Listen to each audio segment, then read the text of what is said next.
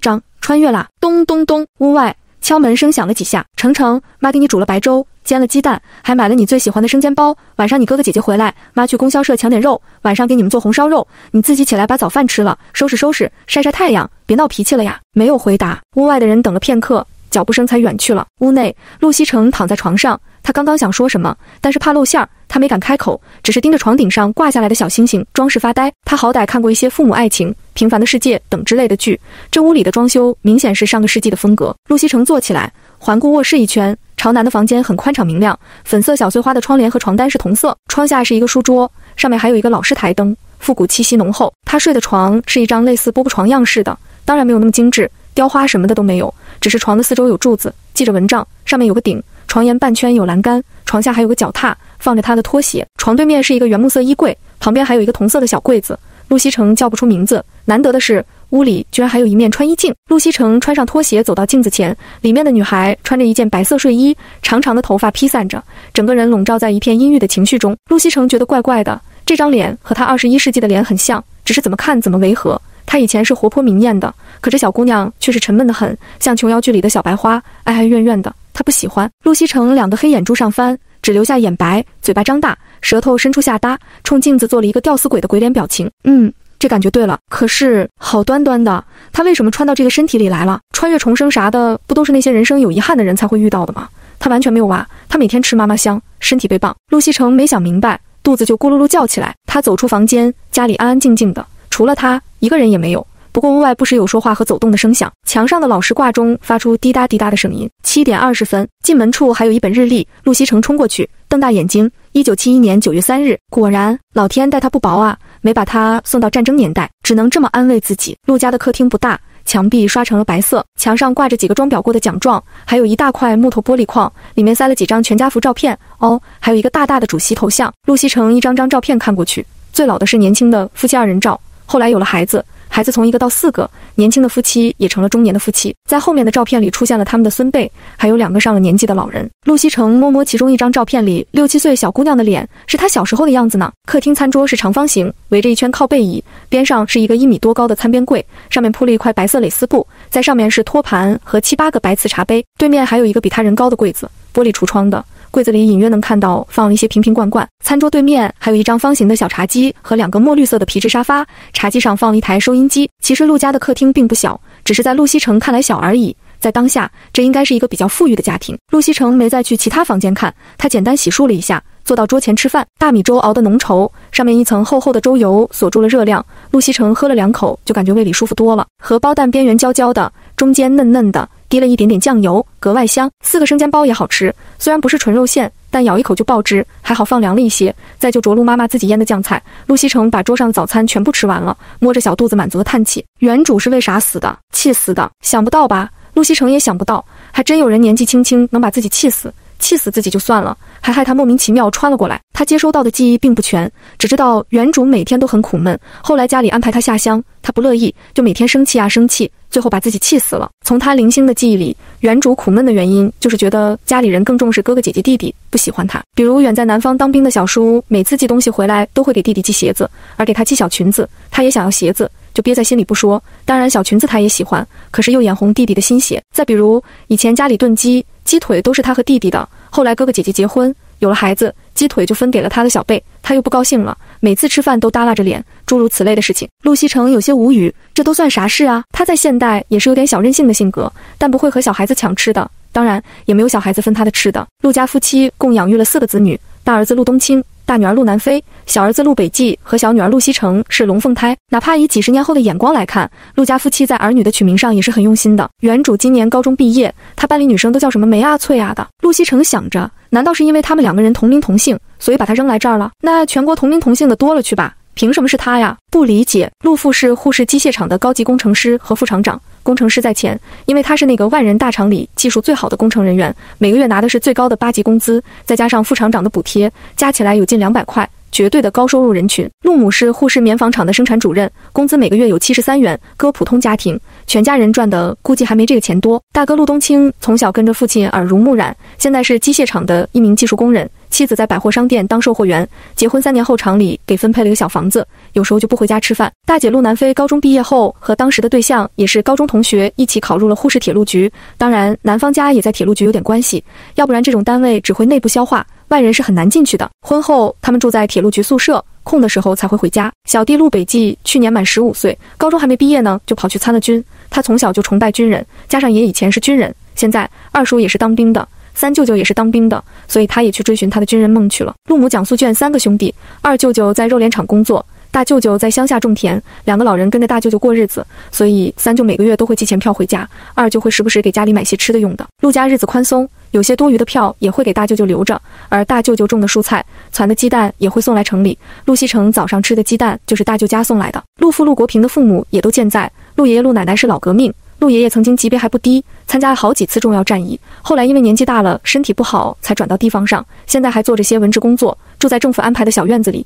虽然也在护士，但并不与他们一起住。陆奶奶曾经在军区医院做医生。到护士后，她不愿意麻烦地方政府安排，就退休在家照顾丈夫。陆爷爷、陆奶奶就生了两个儿子，大儿子就是陆国平，从小爱念书；小儿子陆国安则参了军，四十岁的年纪已经是副师长级了。第二章要下乡，这样一个家庭，按理说陆西城高中毕业后想要安排个工作并不难。陆父陆母本来也是那么想的，无论机械厂还是棉纺厂，总归能把小女儿放在眼皮子底下看着。虽然小女儿性子古怪，与家里人都不太亲近，但陆父陆母也不指望她多有出息，就安安稳稳的挺好。过两年找个老实的小伙子嫁了，自家条件好，也能多给女儿些补贴，不怕她日子过不下去。陆母生下龙凤胎后，就投入到工作中去，哪怕是全国最困难那几年，家里也没太缺过吃喝，还有乡下的大哥帮衬。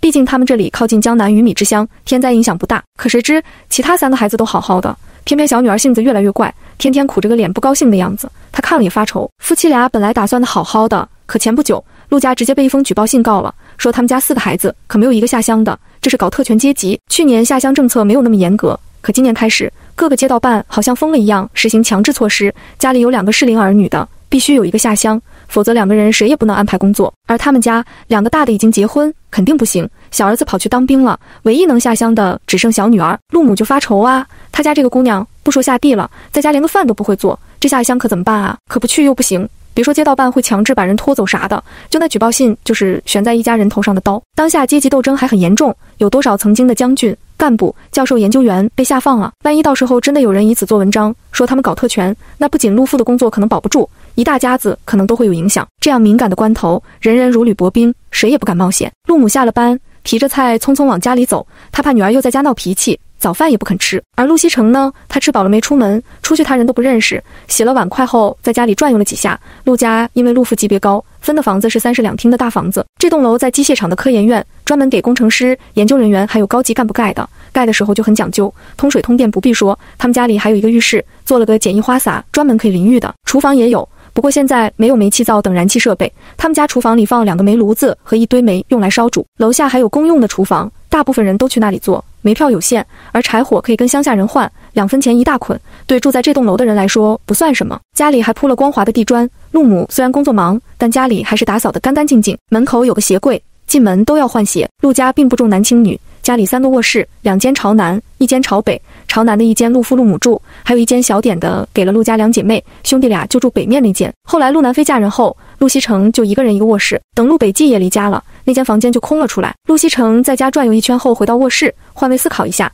他也觉得陆父陆母让他下乡的决定是正确的。他占了原主的身体，可没有欠了原主，要替原主圆什么心愿的自觉，又不是他要来的，说不定原主不死。他还好端端的在他的二十一世纪呢，关他啥事啊？他虽然没有经历过这个年代，但也从家里的老人口里和一些文学作品中知道这是怎样疯狂的一个年代。活着尚且不易，何必要去挑战一些规则呢？而且从那点记忆中，他觉得陆父陆母也不像不关心这个女儿的样子，只是疏于沟通，彼此不够亲密。这也正好，要是太亲密了，他还不知道怎么相处呢。至于下乡，如果有家里的经济支持，他也未必会吃很多苦啊。好吧，无论原主还是他本人，都是没下过地的。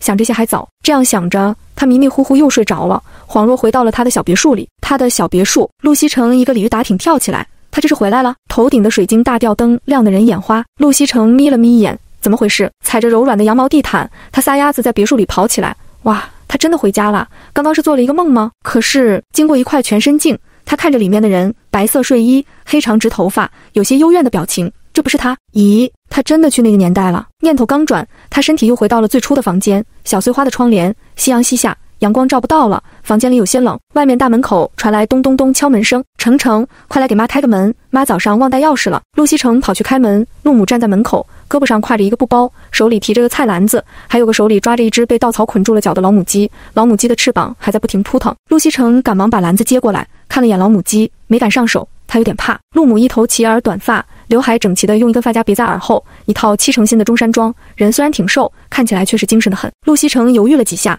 才张口喊了一声“妈”。小别墅他还搞不清啥情况，但他穿到了这个年代，应该是事实。哎，早上买菜的时候看到一个大爷在偷偷卖鸡，我眼疾手快给抢了下来，这么大才五块钱，正好给你们都补补身体。杀鸡今天肯定来不及了。陆母把鸡放在厨房的一个木框里，木框是用木头一根根钉的，不怕鸡逃走，也不怕他闷死。陆母翻着篮子，我还买了两斤肉。我们今天做了一斤，剩一斤给你爷爷奶奶送去。你二舅昨天送来的骨头也给他们送一根。二舅经常能弄到一些不要票的骨头，虽然肉被剃光了，但熬个汤，加点粉丝油、豆腐、青菜，也好吃的很。陆母在厨房边絮叨边整理食材，转头看陆西成木呆呆站在门口。你怎么还穿着个睡衣？赶紧去换了，一会儿跟妈下去做饭。一天不出门，人都闷傻了。陆西成低头，哦，他以前一个人在家散漫自在惯了，忘记这里不是他一个人了。第三章，美美的跟着妈妈去烧菜。陆西成走回卧室。打开原主的柜子，有货。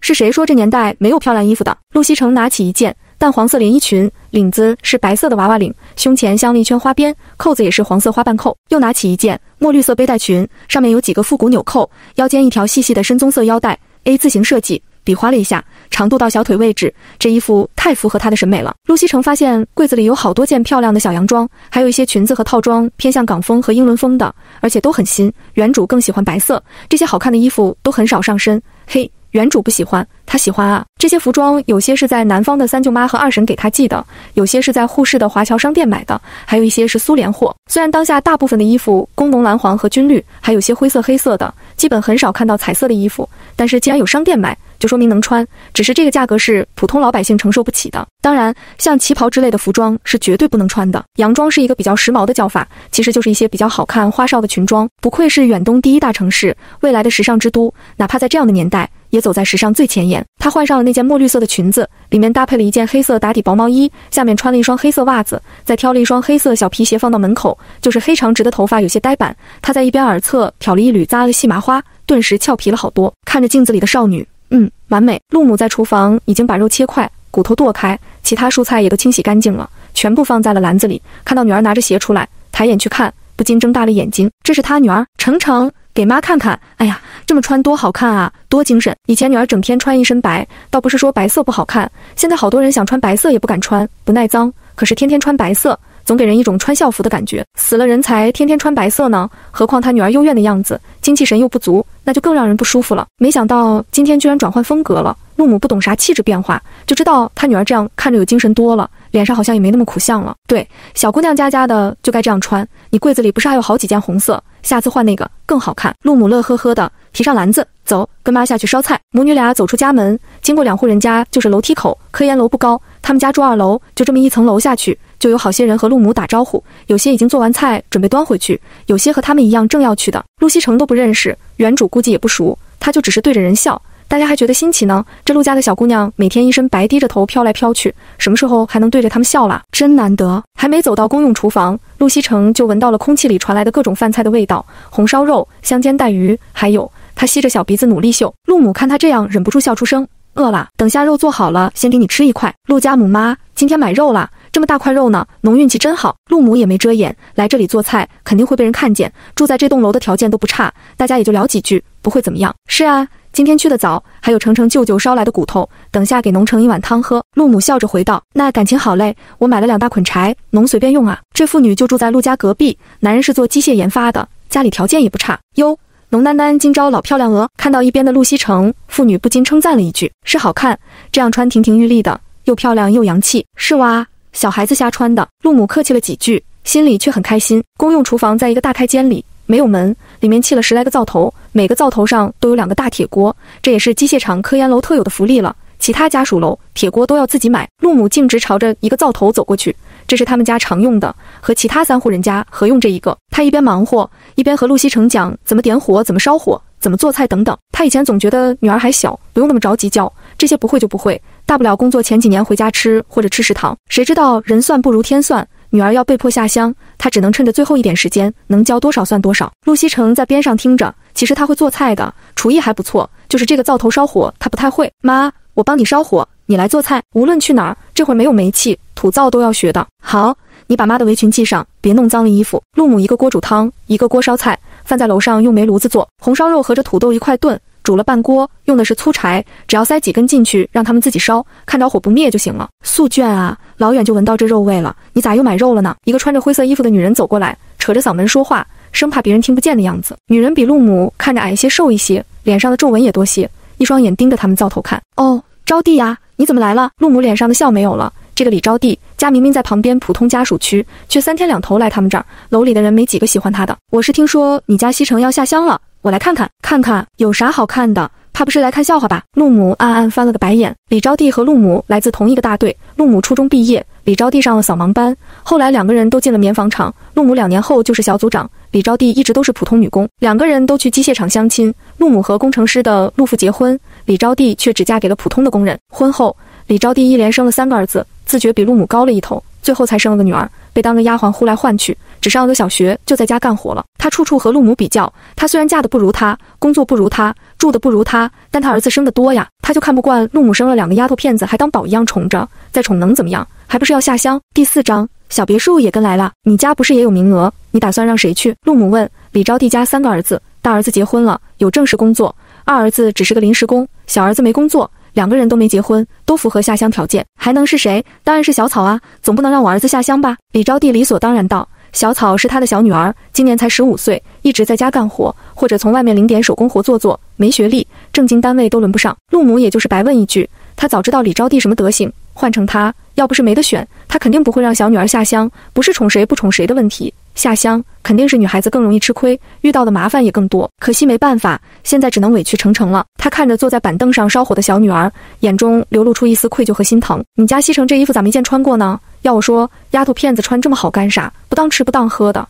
哎，你这肉煮差不多了，我家命苦啊，每个月就那么点肉票。我儿子已经两个月没见过荤腥了。说着还想伸手去够锅里的肉，被陆母一巴掌拍了下去。我上个月还见你拎了一块肉回娘家呢，要不让我家老陆和你家老刘说说。想办法换点肉票。陆母不咸不淡地说了一句，李招娣的脸顿时就僵住了。那啥，我家还没吃饭呢，我也要回去了，回头见啊！说完，匆匆就跑了。陆西城看得想笑，这人到底是来干啥的？他也庆幸穿过来的母亲是陆母，而不是那个叫招娣的，要不然他少不了要和人家斗智斗勇一番。陆母看看时间，对他说道：“程程，注意看看你爸回来没有？回来了，让他来端菜。”陆西城跑出去，科研楼大院有个铁门，晚上会关上，他就站在铁门门口看着。找他那个父亲，此时正是下班时间，三三俩俩的有人走进来。陆西城发现进这道门的大部分精神面貌还挺不错，虽然穿的也有补丁，但都捯饬的挺整齐。有个穿着灰色外套的男人骑着自行车出现，陆西城仔细辨别了一下，这是他爸，没认错吧？挥了挥手，爸爸。中年男人听到声音，下车走过来。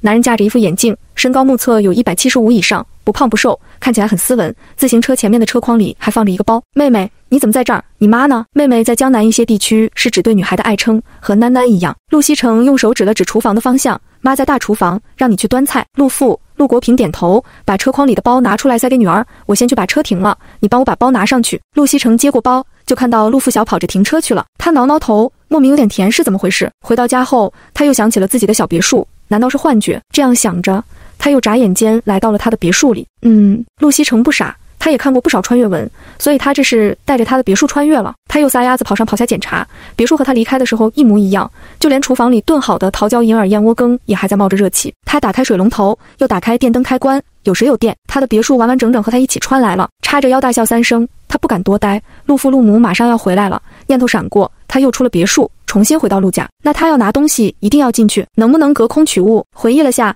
厨房有盒刚拆开没吃过的草莓，来一颗。马上，他手上就多了一颗粉白白的草莓。嘿，真行啊！他举着草莓乐呵，陆母就推门进来了。陆西城顾不上草莓还没洗，一整个塞嘴巴里，嚼两下就咽了下去。陆母手上端着一个大碗，陆父跟在后面端着一个更大的搪瓷盆，手上还提着篮子。陆国平看女儿坐在餐桌上看着他们，以为他是等吃饭。程程，你饿了就先偷块肉吃，等你姐他们来了，咱们就开饭。陆母听到他这样说就不高兴了，什么偷块肉，在自己家哪能叫偷？程程，别理你爸，想吃妈给你先夹两块。陆父好脾气的笑笑，并不反驳陆母，放下东西进厨房帮忙去了。他平时工作很忙，难得有准时下班的时候，这几天也是因为小女儿的事情才这么早回家。妈，我不饿，一会儿大家一起吃吧。等了一刻钟左右来分钟，陆大哥和陆大姐就带着家人过来了。陆大姐拿了一兜苹果、一串香蕉和几包米线。这都是托同事带的，这苹果比我们这边卖的好吃多了。香蕉是南面带回来的，米线是大米做的，煮两分钟就能吃，是云贵那边的食物。我买了一点，大家分了尝尝。米线先不说，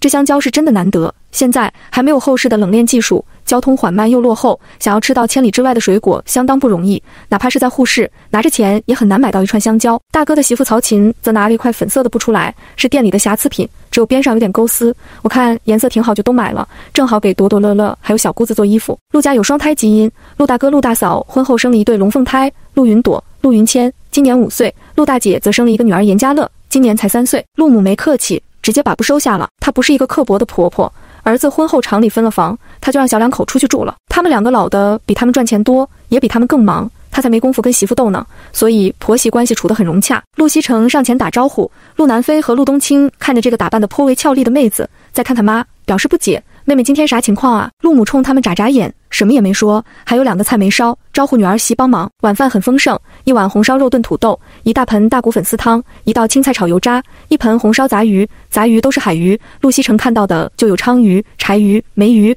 还有几个小八爪鱼和墨鱼仔，还有一碟凉拌海蜇，这些都是大舅舅送来的。大舅舅家在一个岛上，平时是以种地为主，但离海近。虽然那片海域没有什么正经海鲜，但村民们闲暇也能捕到点小鱼小虾来城里卖卖，赚个几分几毛的。当然。大舅舅不卖，都是直接往弟弟妹妹家里送的。陆母还蒸了一大碗鸡蛋羹，这是给几个孩子吃的，上面淋了酱油和猪油，他们可喜欢了。主食是米饭煮红薯，米饭多，红薯少。米饭在厨房，陆母去盛饭，大嫂曹琴和大姐一起跟去端。陆西城看都三个人了，就没跟着，而是和旁边的几个小可爱聊天。虽然以前因为一些原因，陆西城都不爱搭理三个小孩，但小孩子是视觉动物啊，年纪又小，还不记仇。这个小姑姑、小阿姨长得漂亮。他们就喜欢缠着她玩，现在她主动和他们说话，更是让他们乐不可支，叽叽喳喳说个不停。她把最小的严家乐抱在腿上，小姑娘细软的头发扎了两个小辫儿，掰着手指头，奶声奶气的和他告状：“嘟嘟，我爸爸已经五天没有回家了。”陆南飞端着两碗饭从厨房出来，听到女儿这么说就笑了：“哪有五天，就三天。小丫头天天在家里念叨爸爸，我是少你吃还是少你喝了？她丈夫是列车员，跟车两三天不在家是常事。”严家乐嘴巴一撅，把脸埋进陆西城怀里。嘟嘟，妈妈笑我。陆西城好笑的摸摸他脑袋上的小辫子。妈妈不笑你，叫阿姨。行啦，程程，你也别纠正他了，跟我家朵朵和小千学的，改不过来。小孩子爱和大孩子玩，陆云朵和陆云谦叫他姑姑，小乐乐也跟着叫，说了好多次都没用，他们也就随着他了。反正孩子父亲家没姐妹，确实没有亲生的姑姑。第五章，新家的晚饭。陆母把饭放到桌上，招呼大家吃饭。陆西城往桌上看，每人的碗里都有一点点红薯，他碗里是最少的，只有一小块。程程，把乐乐给我。你自己吃。陆南飞伸手接过女儿，曹琴拿来三个小碗，每个碗里有一块红烧肉，再浇上汤汁，放在茶几上，把那碗鸡蛋羹也端到那边。你们三个过来这边吃。小千照顾着点妹妹们，不准淘气。五岁的陆云谦已颇有当哥哥的架势，他让两个妹妹坐在沙发上，他自己则站在边上，一勺一勺的分蛋羹。三个小朋友你一勺我一勺，吃得相当认真。大人这桌也在边吃边聊，主要聊的还是陆西城下乡的事情。下乡已是定局了，主要就是去哪里的问题。爸。现在有人盯着我们家附近省份，肯定不行了。你想好让小妹去哪里了吗？陆冬青开口问父亲。本来就算不能去舅舅所在的大队和沪市本地的军垦农场，沪市边上的这省和苏省都是很好的地方，离得近，坐车一天就可以来回。他们有时间也可以去看他，气候条件差不多，陆西城能很快适应。可是现在他们不能这样操作，至少不能操作的这么明显，只能把人往远一点的地方送。陆国平喝下碗里的汤，想了想，开口：“我昨天去看望了老爷子，你们爷爷的意思。”地方苦不苦不重要，要紧的是地方管理严不严，对知青有没有保护政策，当地的风气正不正。知识青年上山下乡运动从五十年代开始，最初是一些年轻人自愿组成志愿者去往农村和边疆，他们怀揣梦想和激情，确实对当地的生产建设做出了贡献，起到了开拓者的作用。到了六十年代。由于长期忽视计划生育，城市人口积压，单一的经济体制导致就业问题日益严峻。为了缓解城镇压力，越来越多的年轻人被迫背井离乡。其实对于这些年轻人来说，这是一件既尴尬又无奈的事情。城市容不下他们，农村也不欢迎他们，离家的不舍，对农村生活的不适应，对未来的迷茫，对前途的绝望，这些情绪充斥在这些后期下乡的知青中间。就陆国平所在机械厂，就有无数工人子女下乡的。一些人到了乡下，无法适应劳动强度，口粮不够，居住环境差。在村里也被歧视，甚至有些地方还有侮辱女知青的情况。不仅仅是农村的男人，还有些是当地的干部，仗着手里一点点小权力，威逼利诱知青的情况时有发生。陆国平也有所耳闻。他如果下乡的是儿子还好，偏偏是娇滴滴的小女儿。陆南飞点头：“是啊，我听同事说过，一些地方根本不把女人当人看的，生下女孩就溺死的，养几年卖掉的，还有给家里儿子换亲的。这些地方，程程绝对不能去。”兄妹俩都看向陆西城。陆家四个儿女，要说长相都很拿得出手。但最好看的还是陆西城，小时候就长得浴血可爱。那时候他也乖，不像弟弟经常玩的脏兮兮的。陆南飞和陆冬青每天抢着抱妹妹。后来妹妹长大，和他们不像小时候那么亲近，到底是打小宠着的，他们哪里舍得让他去乱七八糟的地方被欺负？陆国平继续说：“你们爷爷理了下他的人脉，我也找了找自己的关系，最后选了两个地方，一个在西北，一个在东北。”两个地方都不算乱。我有个同学在东北那县城做钢铁厂厂长，你也有两个以前的战友在那，西北也有认识的人。程程，你看想去哪里？我们提前打个招呼。他看向女儿，就怕这姑娘拧着性子，哪里也不肯去。陆母盛了碗汤给女儿，小心地看着她。陆西城看看这对新的父母，又看看旁边的哥姐。其实他和原身是有点像的，原身是任性，而他呢是娇气，有时候还有些做初来乍到的。他不想表现得那么懂事，小事情上是可以任性一下的，符合原生的性格，也符合他自己的脾气。他想了想，才说道：“我去东北，西北太干了，我可受不了。”他以前去西北旅游过，一周时间就开始流鼻血，酒店房间必须每晚开着加湿器，面膜水乳不断。就算如此，脸也干了一个度。如果去那儿三四年时间，算了算了。不过东北好冷的，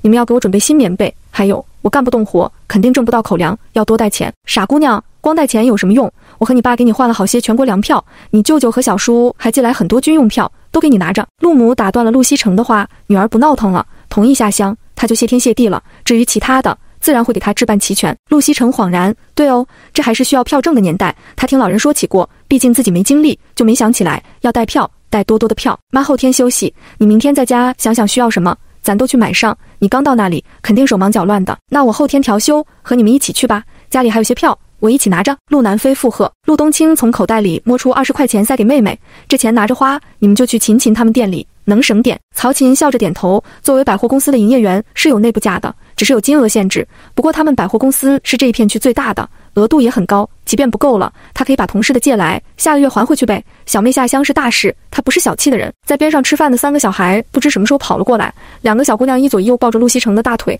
陆云谦则张大眼睛看着他。姑姑，你是要走吗？要离开家里？姑姑有时候很讨厌，会和他们抢吃的，会不理他们。但姑姑有时候也会保护他们。有两次，他们被街道上几个小孩子欺负，都是姑姑看到给赶走的。而且姑姑漂亮，其他小朋友都没有这么漂亮的姑姑。严家乐年纪小，只听懂姑姑要走，他再也见不到姑姑了。哇的哭出了声，陆云朵跟着吧嗒吧嗒掉眼泪。陆西城哭笑不得，出来这个时空的茫然消散了大半，心里暖融融的。他把小乐乐抱到腿上，又给朵朵擦擦眼泪。姑姑只是去工作了呀，姑姑还会回来的呢。姑姑有机会就回来看你们啦。可是我不想嘟嘟走，嘟嘟不要去工作，好不好？乐乐圈着他的脖子，还是抽抽噎噎。陆云谦早会看向自己父亲，看陆冬青摇头，沮丧地垂下了头。爸爸和爷爷还有太爷爷都没办法，他又能做什么呢？小千，这样好不好？我到了那里就给你们写信，你们也要给我回信。每个月一次，你们看到信就知道我过得好不好啦。陆云谦眼睛瞬间亮了，朵朵也笑了起来。他还没写过信呢。不过我们要约法三章：你们不会写字可以画图，但不能一直画图，要学会认字。每个月讲自己学了什么。要是一两年都没有进步，我以后可就不给你们回了。不会的，我现在就会写自己名字了，还会好几十个字。朵朵也会写自己名字，其他的我会教她的。乐乐妹妹太小了，就先画一年图吧，明年再教。陆西城摸摸她的脑袋，教育要从娃娃抓起。再过六年就要恢复高考了，这三个小孩以后一定有机会参加，所以要让他们从小就好好学习。第六章上一世的陆西城，晚饭以陆西城同意去东北下乡，并与三个孩子达成写信约定结束。饭后，陆母几人去收拾碗筷，陆国平和儿子讨论工作，陆西城和三个小朋友腻歪。说来也奇怪，他记忆里对他们并不亲热，但他们却偏偏很黏他。想来原主并不是太糟糕，小孩子是最敏感的。如果他真的对他们很坏，小孩子都能感觉出来。原主就是钻了牛角尖没出来，又没人开导，可惜了。他把他们带进自己房间，书桌上有一副中国象棋。陆云谦说想玩，他刚刚学，不用人陪，自己对着棋就能看半天，折腾半天，两个小姑娘头发都散了。陆西成让他们坐到书桌前，拿牛角梳给他们梳头发，日常营养不错，两个人头发都不少。小乐乐头发短。到脖子下面，陆西城就给他扎了个哪吒头，两个小揪揪顶在圆溜溜的脑袋上，特别可爱。朵朵的头发长，陆西城给他前面两边贴着发根编了两个三股辫，后面也同样操作，最后把前后的两个辫子扎成一个放在脑后，这样的发型清爽干净，就算蹦跶一天也不会乱。朵朵摸摸自己两个辫子，站在镜子前左照右照，美得冒泡。姑姑能不能让爸爸去下乡？姑姑在家里。爸爸有次给他梳头，扯掉了他好几根头发，痛死了。陆云谦看了自己亲妹妹一眼。无语的摇摇头，噗嗤！陆西城没忍住笑出声来。软萌的小女孩果然很可爱，不像自己前世的弟弟，从小一本正经的，一点也不好玩。不过这倒是和陆云谦有点像。想着别墅里还有很多玩具，不知道以后有没有机会拿出来给他们玩。陪了他们一会儿，时间不早了，大哥大姐催着孩子们回家，小侄子乖乖出去了。朵朵和乐乐都抬头看他，眨巴着大眼睛，一脸期待的表情，明显不想走，想和他一起睡呢。陆西城无奈，他的床不大。一米五多点的样子，他睡觉又不老实。以前两米的大床，晚上睡在床头，早上起来在床尾，带俩孩子一起睡，他还真不敢。朵朵乐乐听话，下次姑姑给你们讲故事好不好？好，我们要听故事。朵朵上幼儿园了，但现在幼儿园哪有正经的老师啊？就是帮忙看着孩子，教着唱点歌，两三个革命老故事，早就听得人耳朵长茧了。把小朋友们带出房间，曹琴看到自家闺女，顿时就睁大了眼睛呀。朵朵这辫子是小妹给梳的，她是一个勤快的女人，不仅自己，两个孩子也都每天收拾得很干净。但第一次发现女儿能梳那么好看的头发。陆南飞摸摸女儿的小揪揪，是啊，妹妹的手可真巧。陆西城抿着唇笑，大姐和嫂子要是喜欢，我可以教你们的。好好好。有机会我们来和你学学。送走他们，陆母就喊陆西城去洗澡。你先用暖水壶里的，煤炉子上还在烧，不够我给你提进来。陆西城其实可以去别墅里洗的，他有个超大的按摩浴缸。不过既然来了这里，还是要尽快适应的。他听话的提了一壶水进卫生间。已经九月份了，晚上天气变凉，简易花洒不能用，好在有自来水，热水也够。他洗得挺舒服的，就是洗头有点麻烦。他的头发又多又长，两壶水也不够洗个头的。陆西城擦干身体，摸摸头发，没办法，只能等回房间锁好门，进别墅去洗了。换好衣服出来，陆母塞给他一杯泡好的热牛奶，喝点牛奶再睡。别多想，妈肯定给你准备齐全下乡。陆西城眼眶热热的，妈，他有点想他那对空中飞人父母了。哎，这么大姑娘了还哭鼻子呢，羞不羞？进了房间，陆西城先喝了一小口牛奶，有点点烫，虽然是冲泡的。奶味却很浓郁。他把牛奶放下，把房门锁上，听听外面的动静。陆母去洗澡了。陆父一般不会进女儿房间，他一个闪身就进入别墅，跑上楼先给自己洗头，选了一款香味很淡的洗发露。洗完又快速用吹风机吹干头发，这才出了别墅。外面除了水声，只有偶尔的脚步声。陆西城放下心来，躺到床上回忆这一天。他对为什么会穿过来还是不清楚，但既来之。则安之。他看过不少穿越小说，极少有能穿回去的，所以他只能老实在这个时空待着。好在这具身体的家人都很好相处，不仅没有极品，还都很关心迁就他，让他觉得穿越没那么糟糕。就是他好想念自己的爷爷奶奶、外公外婆呀。前世陆西城出生在一个比较奇葩的家庭，他的父母是青梅竹马，一起考入顶尖学府，一起毕业，毕业后就结婚。第二年就有了他。后来两个人各自创业打拼，有时候吃饭睡觉都在飞机上。夫妻俩一个月见不了几面，干脆就离了婚，把小小的他扔给了各自的父母。虽然儿女离婚了，但陆西城的爷爷奶奶、外公外婆两家人关系却依然亲厚。陆西城从小在四个老人的宠爱下长大，老人本身就是有些家底的，再加上他爸妈给的生活费一年比一年多，他既不缺物质又不缺爱，是同龄人里名副其实的小公主。在他八岁那年，他父母因为生意合作。也因为年少时的感情，又走到了一起，然后火速给他生了一个弟弟。他的倒霉弟弟待遇也没比他好多少，还在吃奶呢，就被扔给了老人和家里的保姆照顾。他十八岁前都和爷爷奶奶、外公外婆一起生活的，小时候上各种兴趣班和艺术培训班，别的小朋友自己回家，他却天天会有两个人来接，另两个老人在家里给他做好吃的。他在哪里读书，老人为了让他上学方便，就在哪里买两套房子陪着，直到他考入大学。他大学也在沪市。填完志愿后的成人礼上，父母就送了他那套位于沪市某高档小区的独栋别墅，还有公司的股份，每年的分红就有九位数。即便他上了大学，老人一年也有一半时间住在他别墅里陪着他。现在他莫名其妙消失，别墅也被他带了来。四个老人家还不知道会急成什么样呢。爷爷和外公都经历过时代沧桑巨变，奶奶和外婆是乐观的老太太。但是陆西城抹抹眼角的泪，把脸埋进了枕头里。第七章夫妻夜话。主卧，陆国平坐在床头看书，看到妻子端着两个杯子进来。便把书放下。早知道姑娘要下乡，这奶粉我们就不喝了。现在家里就剩两张奶粉票，后天再去买两包给妹妹带着。小县城肯定买不到这个。陆国平点头，你明天在院里问问能不能换到几张。院里都是科研人员和高级干部，有时能分到一些稀有票证。如果不舍得用，就拿去换钱。这种操作正常的很。不过他们现在家里那两张却是陆爷爷给的。老爷子这个年纪，曾经是高级将领，老太太也是正经工作退休，两口子每个月都有两张奶粉票，有时候会拿来给孩子们。对了。家里还有多少钱？陆国平问。他的工资全给妻子收着，他基本不管家里的账。有八千我存起来了，还有一千多在家里留着咱们日常用。夫妻两人的工资也不是一直这么高的。之前陆父没做副厂长的时候，一个月也就一百多。陆母也是从普通女工做组长到车间主任，再到整个厂生产主任，一步步上去的。她不是那种特别节俭的主妇，丈夫的工作脑子累，身体也累，必须要吃好点。她自己工作也不轻松，必须付出很大的心力才能做好。两个儿子养得高大，女儿也健健康康。可不就要花钱吗？所以除了每个月的供应，一旦有那种不要票的稀缺货出来，他都会抢。有一次，附近农村的牛摔断了腿，被宰杀了来卖，他直接五十块钱买了十几斤。心疼是心疼，但看着一家人吃得满足的样子，那钱就花得值。家里开销不小，陆国平要每个月给父母二十块钱。老人虽然不缺钱，但这是做儿子的孝心。弟弟在外当兵，每个月也要寄回一点津贴回来。奖素娟给娘家父母的就少些，他还有三个兄弟呢，每个月就给五块钱让爹妈零花，有多余的票也会给点。大儿子陆冬青工作后，最开始一个月工资只有十八块，每个月就给五块钱吃喝在家里。现在一个月有三十多，他每个月要给父母十块钱，每周会有几次回家吃饭。当然，他要天天回家，陆母肯定也不会说什么。陆南飞本来也是想和哥哥一样，每个月给十块钱的。哥哥娶媳妇花了家里五百多。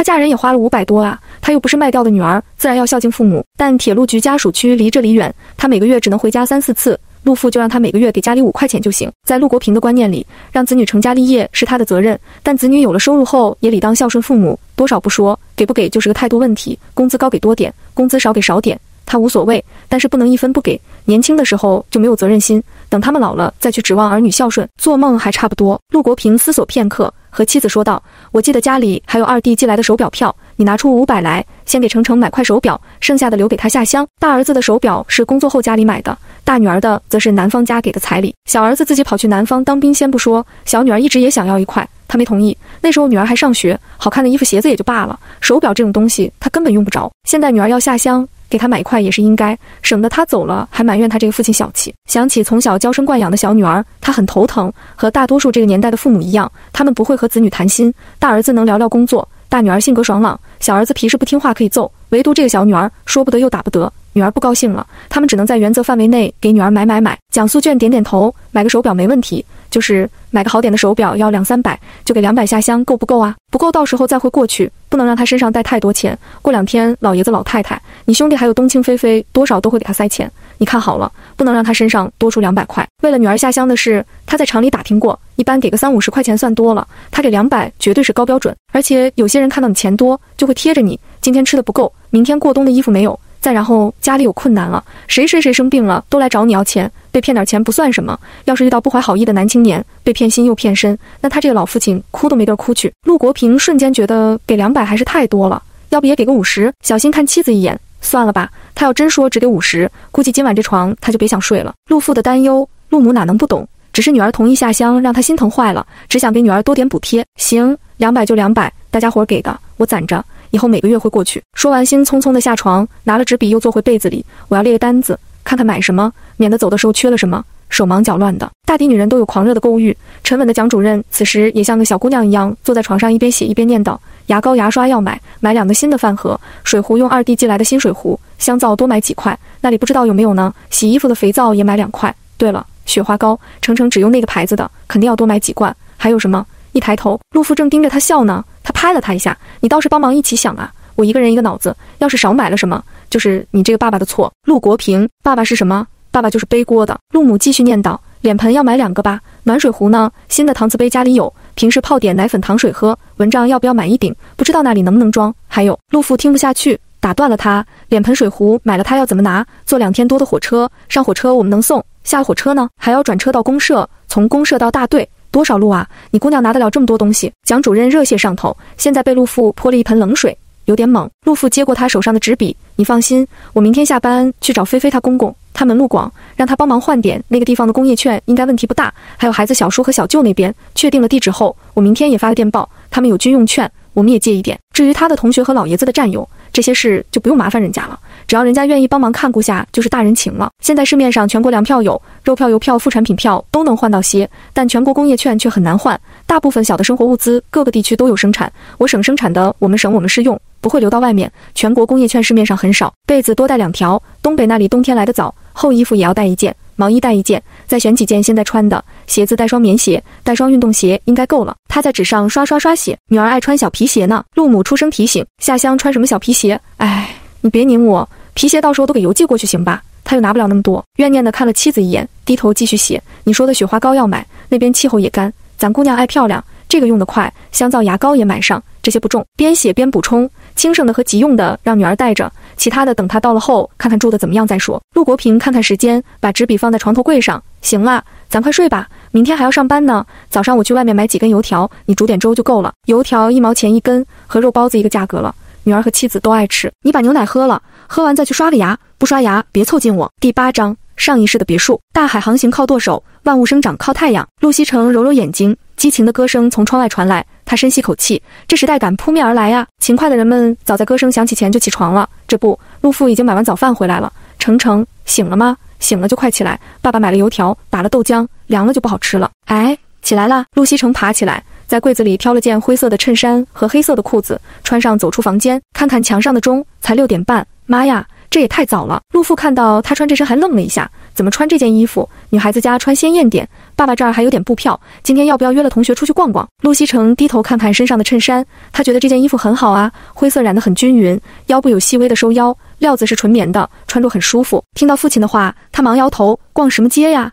他现在人都认不全呢，那就不出去，吃完早饭再去睡会儿。爸爸还买了肉包子，中午自己热一热就可以了。不想吃包子就去国营饭店吃，钱和票抽屉都有。这时，陆母端着煮粥的锅从厨房出来，陆父忙伸手接过，放到桌上，一锅大米南瓜粥，一小碟酱菜。一盘包子，两个咸鸭蛋，还有每人一根油条，一杯豆浆，就是今天的早饭。粥太烫了，先在锅里搅拌了好几下才盛出来。陆父陆母已经喝上了。陆西城洗漱完了再吃，还是觉得烫，就慢慢吃油条。油条炸得蓬松酥脆，热腾腾的的特别香。前世在外面吃油条会担心地沟油的问题，现在是绝对没有的。他小口小口吃了半根油条，才低头喝粥。他喝粥也很慢，舀起一勺，先吹啊吹啊吹，吹半天才吃进嘴里。陆母看他这样，又愁上了。到了乡下。肯定是知青们一起吃饭，就她姑娘这样的，能抢得过别人？妹妹呀，妈和你说个事。嗯，什么事啊，妈？陆西城好奇地看着自己的新妈妈，就是咱以后吃饭能不能吃快点？他爸爸两碗粥吃完了，他才喝了两勺。陆西城看看陆父的碗，又看看陆母的，恍然大悟：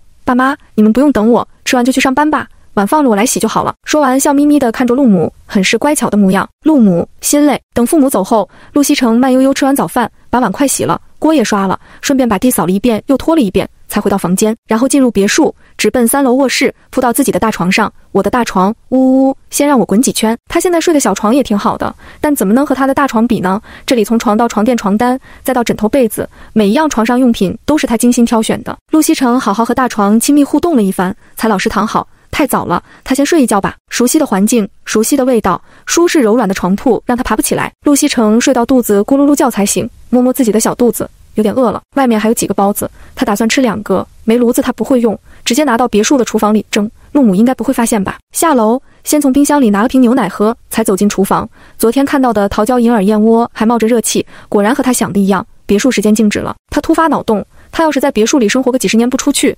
几十年后，他会不会还是现在的样子？也有点怪怪的，像老妖精。熟练地打开燃气灶，放上蒸锅，添上水。他把陆家柜子里的包子放了两个进去，再洗几个草莓吃吧。陆西城看向一边的台面，哎，他记得他昨天明明吃了一个草莓啊。这怎么还是完整的一盒？这盒草莓说是进口货，虽然他吃着和外面草莓园那种一篮子一篮子的奶油草莓味道没啥两样，但人家就是给包装的很高级，每个草莓都包了一个海绵网，塞在量身定做的包装格里，他是不可能搞错的。所以他这个别墅还有复原功能。那复原的是哪些东西呢？洗了五个草莓，陆西城一边吃一边想，看到客厅里放着的几十个超市购物袋时，马上转开头去，眼不见为净。那是他疯狂购物的结果。但是买回来后，他一点都不想整理呀。除了肉类被他扔进了冷柜，鸡蛋、牛奶等随手塞进冰箱，其他都没动过，真是脑壳疼。先吃饱肚子，打个盹，下午再弄吧。陆西城虽然懒散，却并不是拖延症晚期。既然说了下午收拾，他吃了包子，眯了一会儿后，就开始干起活来。这栋别墅不算院子，占地面积有六百个平方。当初买的时候，开发商就说了一套别墅一亩地，地上算上顶楼不住人的阳光房，一共有三层，地下有两层。地下一楼主要是娱乐功能和储存功能，专门留出了三个房间，放家里是使用率不高的和用过了不舍得扔的物件，比如弟弟小时候的玩具啥的，一些桌椅。一些没坏但是不想用的厨具等等，还有些父母的商业伙伴送的礼品和试用品啥的。比如他老爸和一个生产卫生用品的厂商合作，人家就送来了好几大箱的姨妈巾、纸巾和洗脸巾等。露西成嫌不是自己常用的牌子，就放地下室了。地下二楼就是车库。别墅大，装修的时候除了两个客卧外，爷爷奶奶、外公外婆、弟弟还有父母都有房间。几年的时间，每人的生活用品都很齐全了。他疯狂购物是有原因的，被动为了自己的安全。打算几个月不出门了。陆西城对不能出门意见不大，他是很能宅的性格，就怕家里物资不够。父母和四个老人家还有其他常住房产，他们已经让保姆阿姨进行了几次大规模采购。陆西城更喜欢自己出去购物，他连着三天跑了好几个大型的商场、超市，还有菜场、水果店，买东西眼睛都不眨一下，买完就让人家往家里送。结果就是大客厅、小客厅，甚至餐厅都被购物袋堆满了。他是奔着大半年不出门的计划购物的，买的自然多，但。整理起来真的太累了。家里今年新买了一个大冷柜，平时根本用不到，原来就有三个大容量冰箱了。肉类他喜欢吃新鲜的，这次情况特殊，也被他塞得满满当当。陆西城打开冷柜，把肉类重新分类包装摆放，腾更多空间出来。他的手机可以连着便签打印机，一边打印一边记录。第九章别墅存货整理：猪颈肉、猪夹肉、梅花肉、五花肉、里脊肉、猪上脑、前腿肉、腱子肉、后腿肉、猪排骨、猪大骨。猪蹄，还有几对猪耳朵，几副猪下水。陆西城吭哧吭哧把肉都分成半斤大小，放进密封袋真空装好，分类放进冰柜。其实现在别墅有保鲜功能，就这样放在外面，食物也不会坏的。但他心里膈应，尤其是肉类堆着像什么话，还是放进冷柜比较好。一百五十多斤猪肉，他一个人忙活了个把小时。陆西城觉得自己像个屠夫。牛肉简单点，大部分都在某大型进口超市买的，分装好了。牛眼肉、牛小排、牛前胸、西冷、上脑、牛板腱、牛仔骨。牛鳞、牛肋条、牛腩、肥牛、雪花等，还有三十来个牛腱子，这些牛肉花了他好几万，都是宝贝啊！猪肉、牛肉装好，冰柜基本满了。陆西城转战冰箱，冰箱是他的大忙人爸妈选的，容量都在七百升以上，其中两个空荡荡的。他把剩下的食材放进去：老母鸡三只，小母鸡两只，山鸡两只，三黄鸡三只，乌骨鸡两只。他很怕鸡的脑袋，全让人给剁了。鸡放进一层格子里，老鸭四只，老鹅三只，还有很多鸡爪、鸡翅、鸡腿、鸭脖、鸭爪、鸭胗等散货。一起装一层，羊肉不多，羊肉片、肥羊卷、羊腿肉、羊排、羊蝎子，加起来四十十来斤，单独放一层。海鲜和鲜鱼类他买的也多，基本市面上能看到的他都买了。新鲜的虾蟹和买的时候现杀的鱼，就在厨房找几个盆装起来，不用放冰箱了。各种螺类也倒进水桶养着，剩下三文鱼、鳕鱼、黄鱼、带鱼、鱿鱼等等，全扔进去冻着。几包虾仁也一起放就进去，还有些海鲜干货，什么干贝干、爆瑶柱、螺肉、晒干的鱼等乱七八糟的，放在冰柜旁边的置物架上就行。成品、半成品的干粮、饺子、包子、馒头等，还有各种饼类，放到另一个冰箱冷冻层，和他买的冰淇淋放一块。至于蛋类，就敞开放外面吧，毕竟光鸡蛋就有一百多个，还有鹅蛋、鸭蛋、鸽子蛋、鹌鹑蛋等，放冰箱太占空间。香肠、培根、奶酪、芝士、黄油，还有各种果酱等，放保鲜里面，按品种放在收纳袋里装进去。整整齐齐，多余的空间把牛奶、酸奶、果汁、可乐、雪碧、气泡水等各种饮料放一部分，放外面不会坏，但冰一冰好喝呀。买的湿面都塞进去。他喜欢偶尔吃点面食，但不会做，就买现成的。还有些饺子皮、馄饨皮等。几包年糕，这个偶尔吃吃。粉丝也偶尔吃吃。几箱方便面，囤货怎么能少得了方便面呢？逛超市的时候顺便买了些熟食、卤菜、豆制品，也都整齐的码好。陆西城翻找购物袋。调料每种放一瓶进厨房，其他的放架子上。大瓶装的生抽就买了五箱，二十瓶买的时候他觉得自己太疯狂，现在看看喝完它会不会变成小黑人啊？花生油、玉米油、菜籽油、葵花籽油、大豆油、橄榄油，厨房还有没用完的，这些统统放货架边上。大米、五常大米、普通珍珠米、长粒米、泰国香米。糯米各类米加起来有三百斤，面粉相对少一些，普通面粉和高低筋面粉、糯米粉一共不到一百斤。他是打算买来无聊的时候学习做面食的。蔬菜水果这次也不用放冰箱了，规整一下放在空位就行。零食不用整理，陆西城上楼拿了几个收纳衣服的塑料大箱子，把零食哗啦啦全部倒进去，完美。至于地上剩下的日用品，先不管，他快累死了，叉着腰看着自己忙碌一下午的成果，陆西城满意的点头。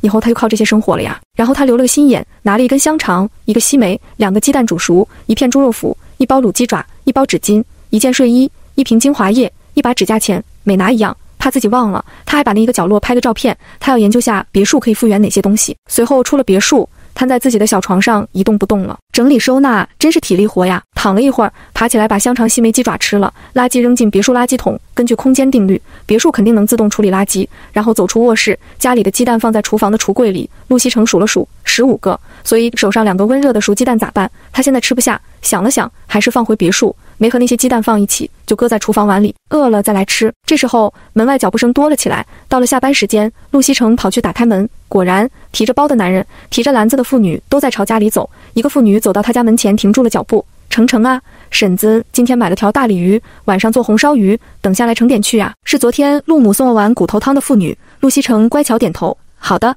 谢谢婶子。妇女脚下生风的走了。又过来一个短头发的姑娘，塞给她几段藕。西城，我奶家送来的藕，给你家晚上做了吃。姑娘说完也匆匆跑了。陆西城正发懵，一个满头银发的老奶奶走过来，递给他一个篮子。妹妹，这是老婆子自己种的菜，不值当几个钱，你拿着，谢谢你妈上次借的半包红糖，红糖我下次还。这菜你们吃。老奶奶说着也转身出去了，篮子都没要。哎，赵奶奶您等等。陆西城把手里的东西放桌上，飞快跑进卧室，进入别墅，把那两个鸡蛋拿跑出来。好在老人家腿脚慢，走得不远，他追上去，把鸡蛋塞老奶奶手里。赵奶奶，这两个鸡蛋给您吃。哎呦，你这个囡囡。我大把年纪了，吃什么鸡蛋啊？你自己吃啊！我煮完又不想吃了。陆西城不给他拒绝的机会，边往回走边说：“赵奶奶，您可别告诉我妈，她会骂我的。”赵奶奶握着两个鸡蛋，一脸为难。本来想趁着小蒋主任没回来把菜送了就走，谁知道又拿人家两个蛋。他这是说还是不说好啊？蒋主任在家属区人缘很好，他为人热情，遇到别人有困难了，能帮就会去帮一把。当然不是烂好人，值得帮的他才帮忙。上上个月赵奶奶的女儿坐月子，家里没红糖了。赵奶奶借遍了亲戚也没借到糖票，后来蒋主任就借了半包家里的红糖给她。赵奶奶儿子只是普通工人，糖票金贵，一直没分到。他短期还不上红糖，不好意思，就想着多送些菜来。可每次送给蒋主任，都要被蒋主任反过来送点什么，一块糕点，几个红薯，搞得他后来只能趁蒋主任不在家偷偷摸摸送。蒋主任这个小女儿以前都是拿了东西一声不吭，今天怎么不按套路来呢？第十章，她胖了。陆西成跑回家看篮子里的蔬菜，种类不少，一把芹菜，一把豆角。七八个茭白，还有几个芋头。他把菜放进自家厨房的菜篮里，两段藕也放进去。这时，陆母回家了，看到厨房里陆西城在整理蔬菜，马上就笑了：“这又是你赵奶奶送过来的吧？这老太太每次都悄悄送，她以为你不说，我就不知道了。这么多菜，明天不用买菜了。”陆西城点点头：“妈妈，还有这个藕呢，是一个小姐姐送来的。什么小姐姐？那是对面翠萍吧？他爸老家有藕塘，每次老家来人都会给我们送藕来。”陆母今天穿了厂里的工作装，她把衣服脱了，系上围裙。晚上你爸加班，就我们两个，简单弄一点吧。陆西城自然没意见，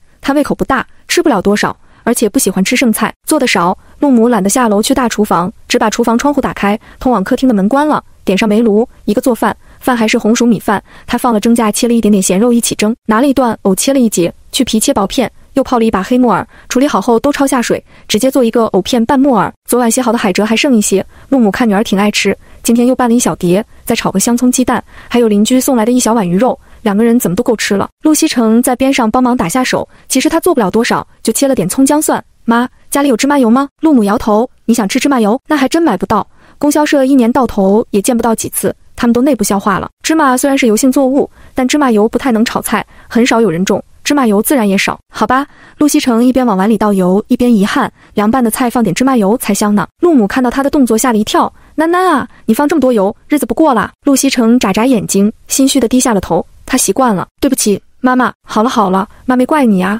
以后可不能这样了。尤其是去了乡下，这么大手大脚可不行。乡下油比我们城里还难弄呢。陆西城被蒋主任教育了一通，灰溜溜出了厨房。他别墅里有那么多吃的用的，却没办法拿出来。下乡也好，到时候他可以往家里寄东西。要是父母问起来，天高皇帝远的。借口也好找啊！陆西城在客厅坐了会儿，陆母就把饭菜做好了。陆西城帮忙端菜盛饭，他先给陆母盛了一碗满满的，再给自己盛了半碗，又挖了两块红薯放碗里。前世他是喜欢吃红薯的，他别墅里还有好几斤六鳌沙地蜜薯，烤完后会有一股糖油，可香可甜了。那些红薯、蜜薯、小香薯都经过了专家和农民伯伯多次的改良，现在的红薯完全不能比。陆西城夹起一小块红薯放进嘴里，偏干，口感粗糙，红薯肉里的丝很明显。他皱眉，不太好吃啊。陆母看着自己闺女一块小小的红薯都要吃半天，一边吃还要一边皱眉，实在是眼睛疼。给他夹了片咸肉放碗里，吃块肉。红薯不爱吃，留着你爸晚上回来吃。咸肉陆西城是喜欢的，他前世老家离护士很近，每年奶奶和外婆也会腌几次咸肉。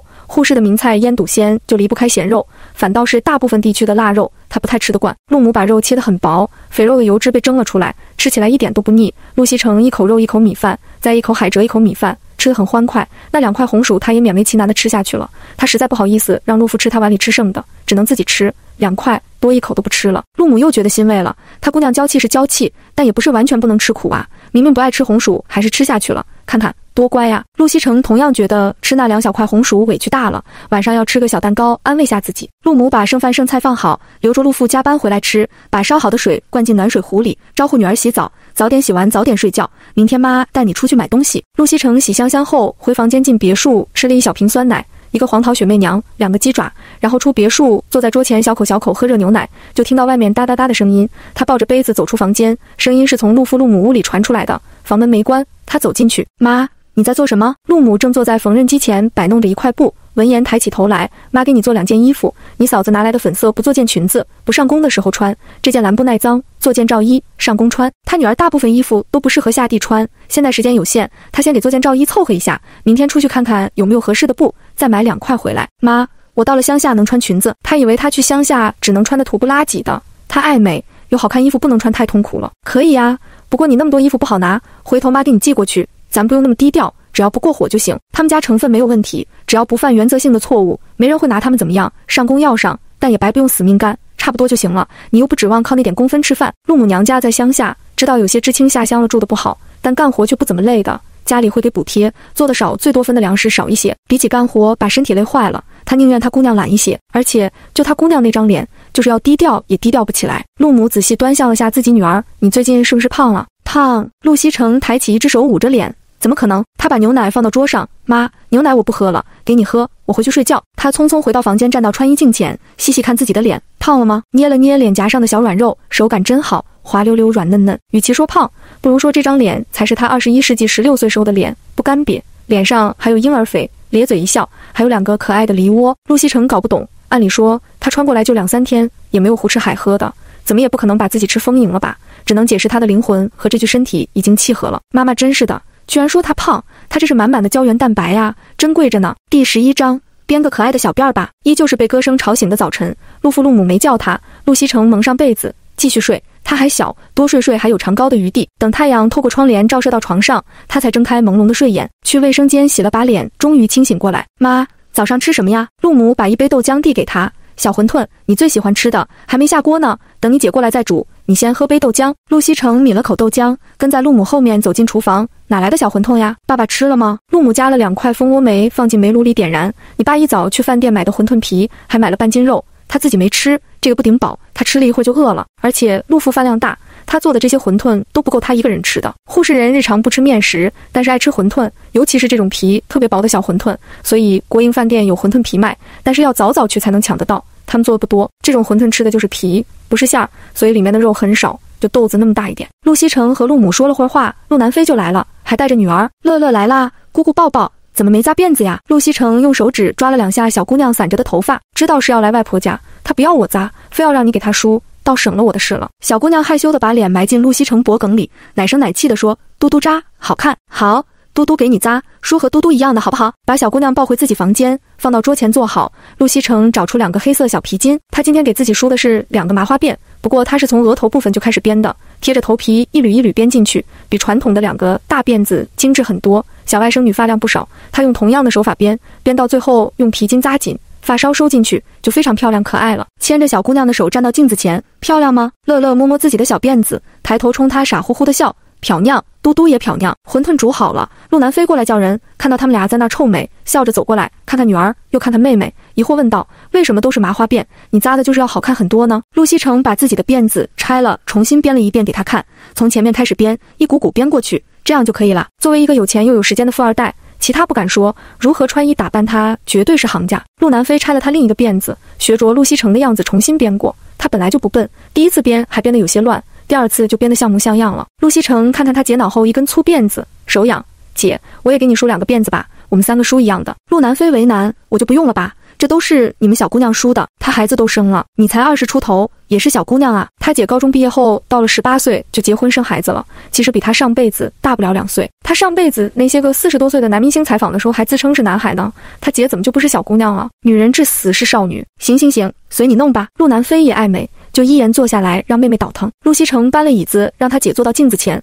把陆南飞的大辫子拆开来疏通，分成两股。编了两个鱼骨辫，她们姐妹俩都是发量王者，只是她给自己编嫌手酸。现在得了她姐姐这么个真人洋娃娃脑袋，可不是要好好发挥一下吗？她一边编一边讲解：“姐，这个比我自己说的要难一点，你下次用乐乐的头发练练，等习惯了就可以给自己编了。”陆南飞认真听着，看着渐渐成型的两个辫子，只觉得惊奇不已。同样的一个头。同样的头发，为什么他感觉自己真的好像年轻了好几岁的样子？好啦，陆西城给最后一个发梢收尾，自己打量了下自己的杰作，完美。明明没有任何一点装饰，可却比街上那些系了红头绳、戴了玻璃发卡的小姑娘要好看太多了。陆南飞看看女儿，看看妹妹，再看看镜中的自己，他妹妹的手也太巧了。你这都是和谁学的呀？他就没见过别人这样梳的。嗯，我自己在家闲的没事瞎琢磨的呗。怎么样，我是不是超厉害的？陆西城凑上去邀功。对对对，你最厉害。你最漂亮了，嘻嘻。小乐乐在边上看着姑姑和妈妈笑，不懂他们在笑什么，也咧着嘴跟着傻乐，小嘴还甜。妈妈漂亮，嘟嘟漂亮，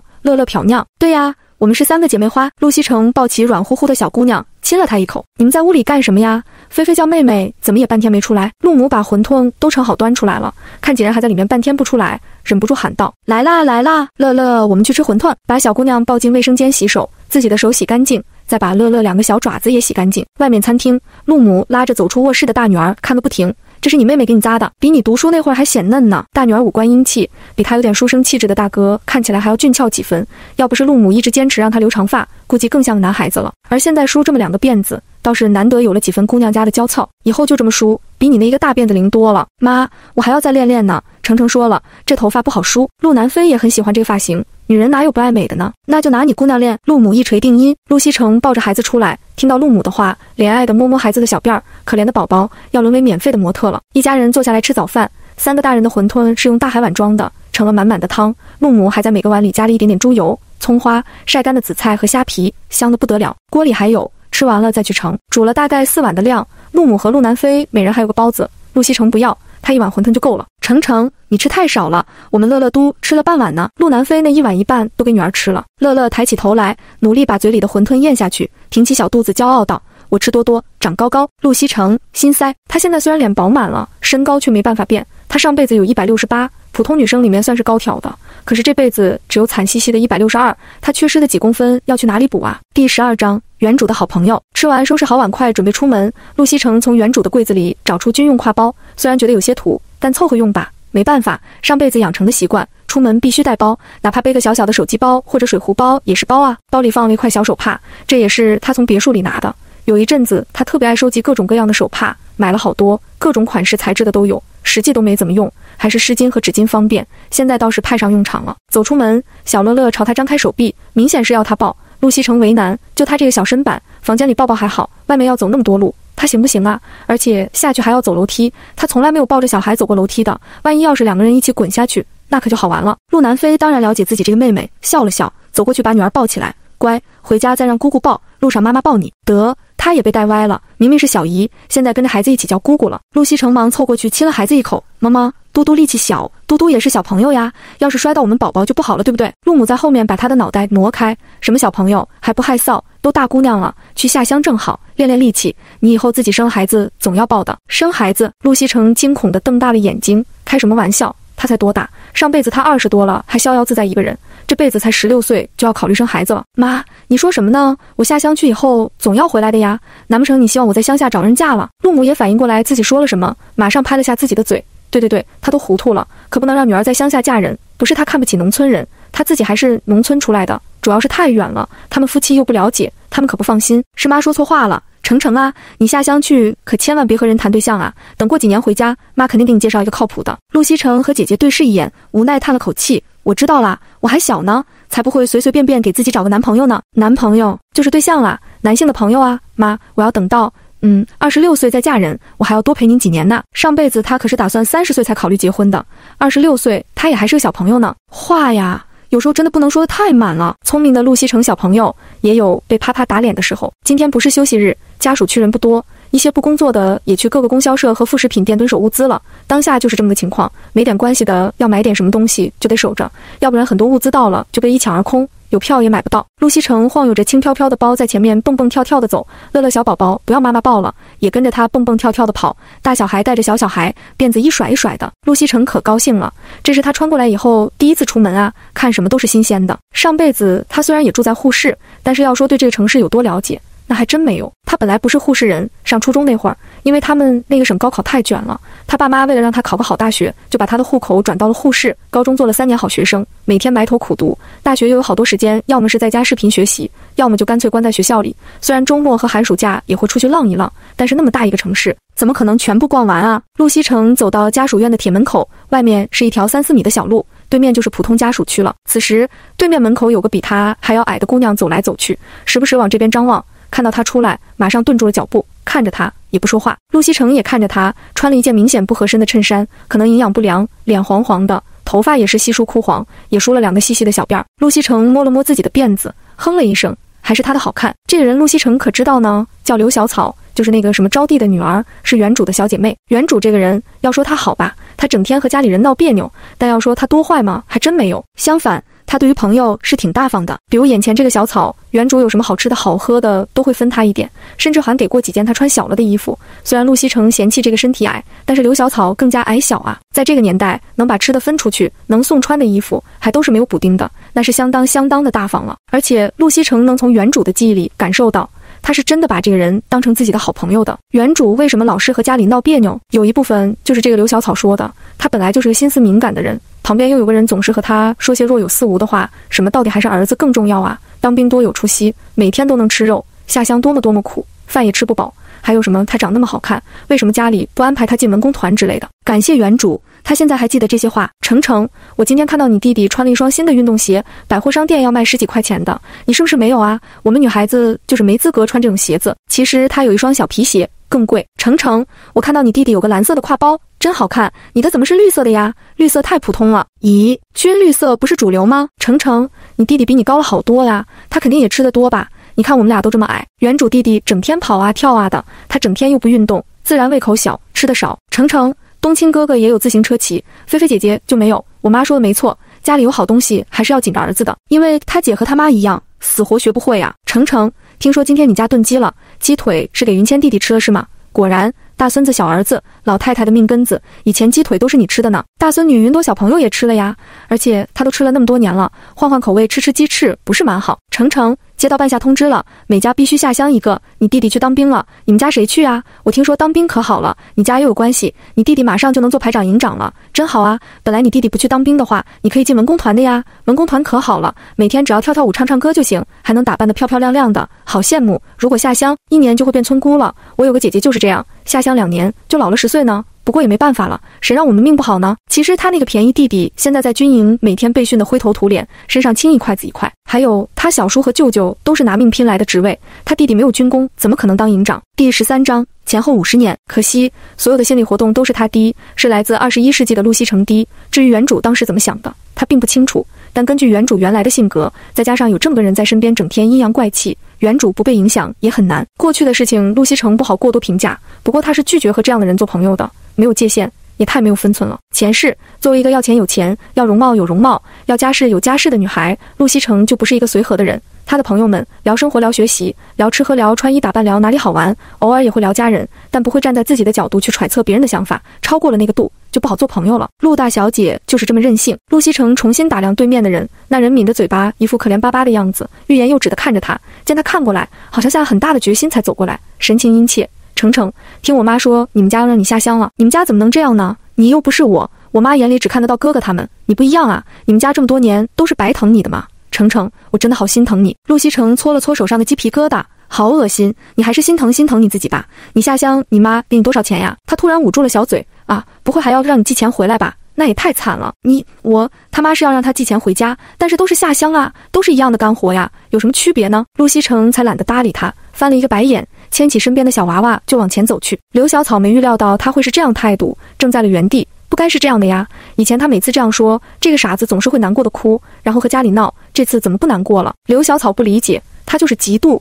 凭什么都是没用的女孩？陆西城就是过得比她好，她爸妈都是厂里的干部，而她爸妈却只是普通工人，工资差了一大截。她只念到小学初小，家里就不供她了。陆西城却可以上高中，凭什么？她还有当军人的叔叔和舅舅，甚至最没用的乡下的舅舅，也能经常给他们送东西，不像他妈的娘家。只会打秋风，陆西城可以每天吃细粮，经常吃鸡蛋，每个月还能吃到好几次肉，他却连吃饱都难。他知道他爸妈没本事，但那不是他爸妈愿意的呀。他有三个哥哥，那是他们刘家的根。可陆西城也是女孩啊，和他有什么两样？陆母和大女儿走得慢，刚出大门就看到这么个人杵在那里，陆母眼中流露出不喜。他不喜欢这个姑娘，总是贴着他们家程程要吃要喝的。完了，他那个妈还要在家属院说两句他们的家的是非。他从来没听到这个姑娘说过他女儿的好，不知感恩，没有教养。刘小草看到陆母两个，吓得后退了两步。他平时和陆西城说话都是背着他家里人的，今天居然没看到他们。他刚刚说的不会被他们听到吧？他怯怯地看了他们两眼，一副被欺负的样子。陆母皱了皱眉头，拉着大女儿走了。这人简直有病。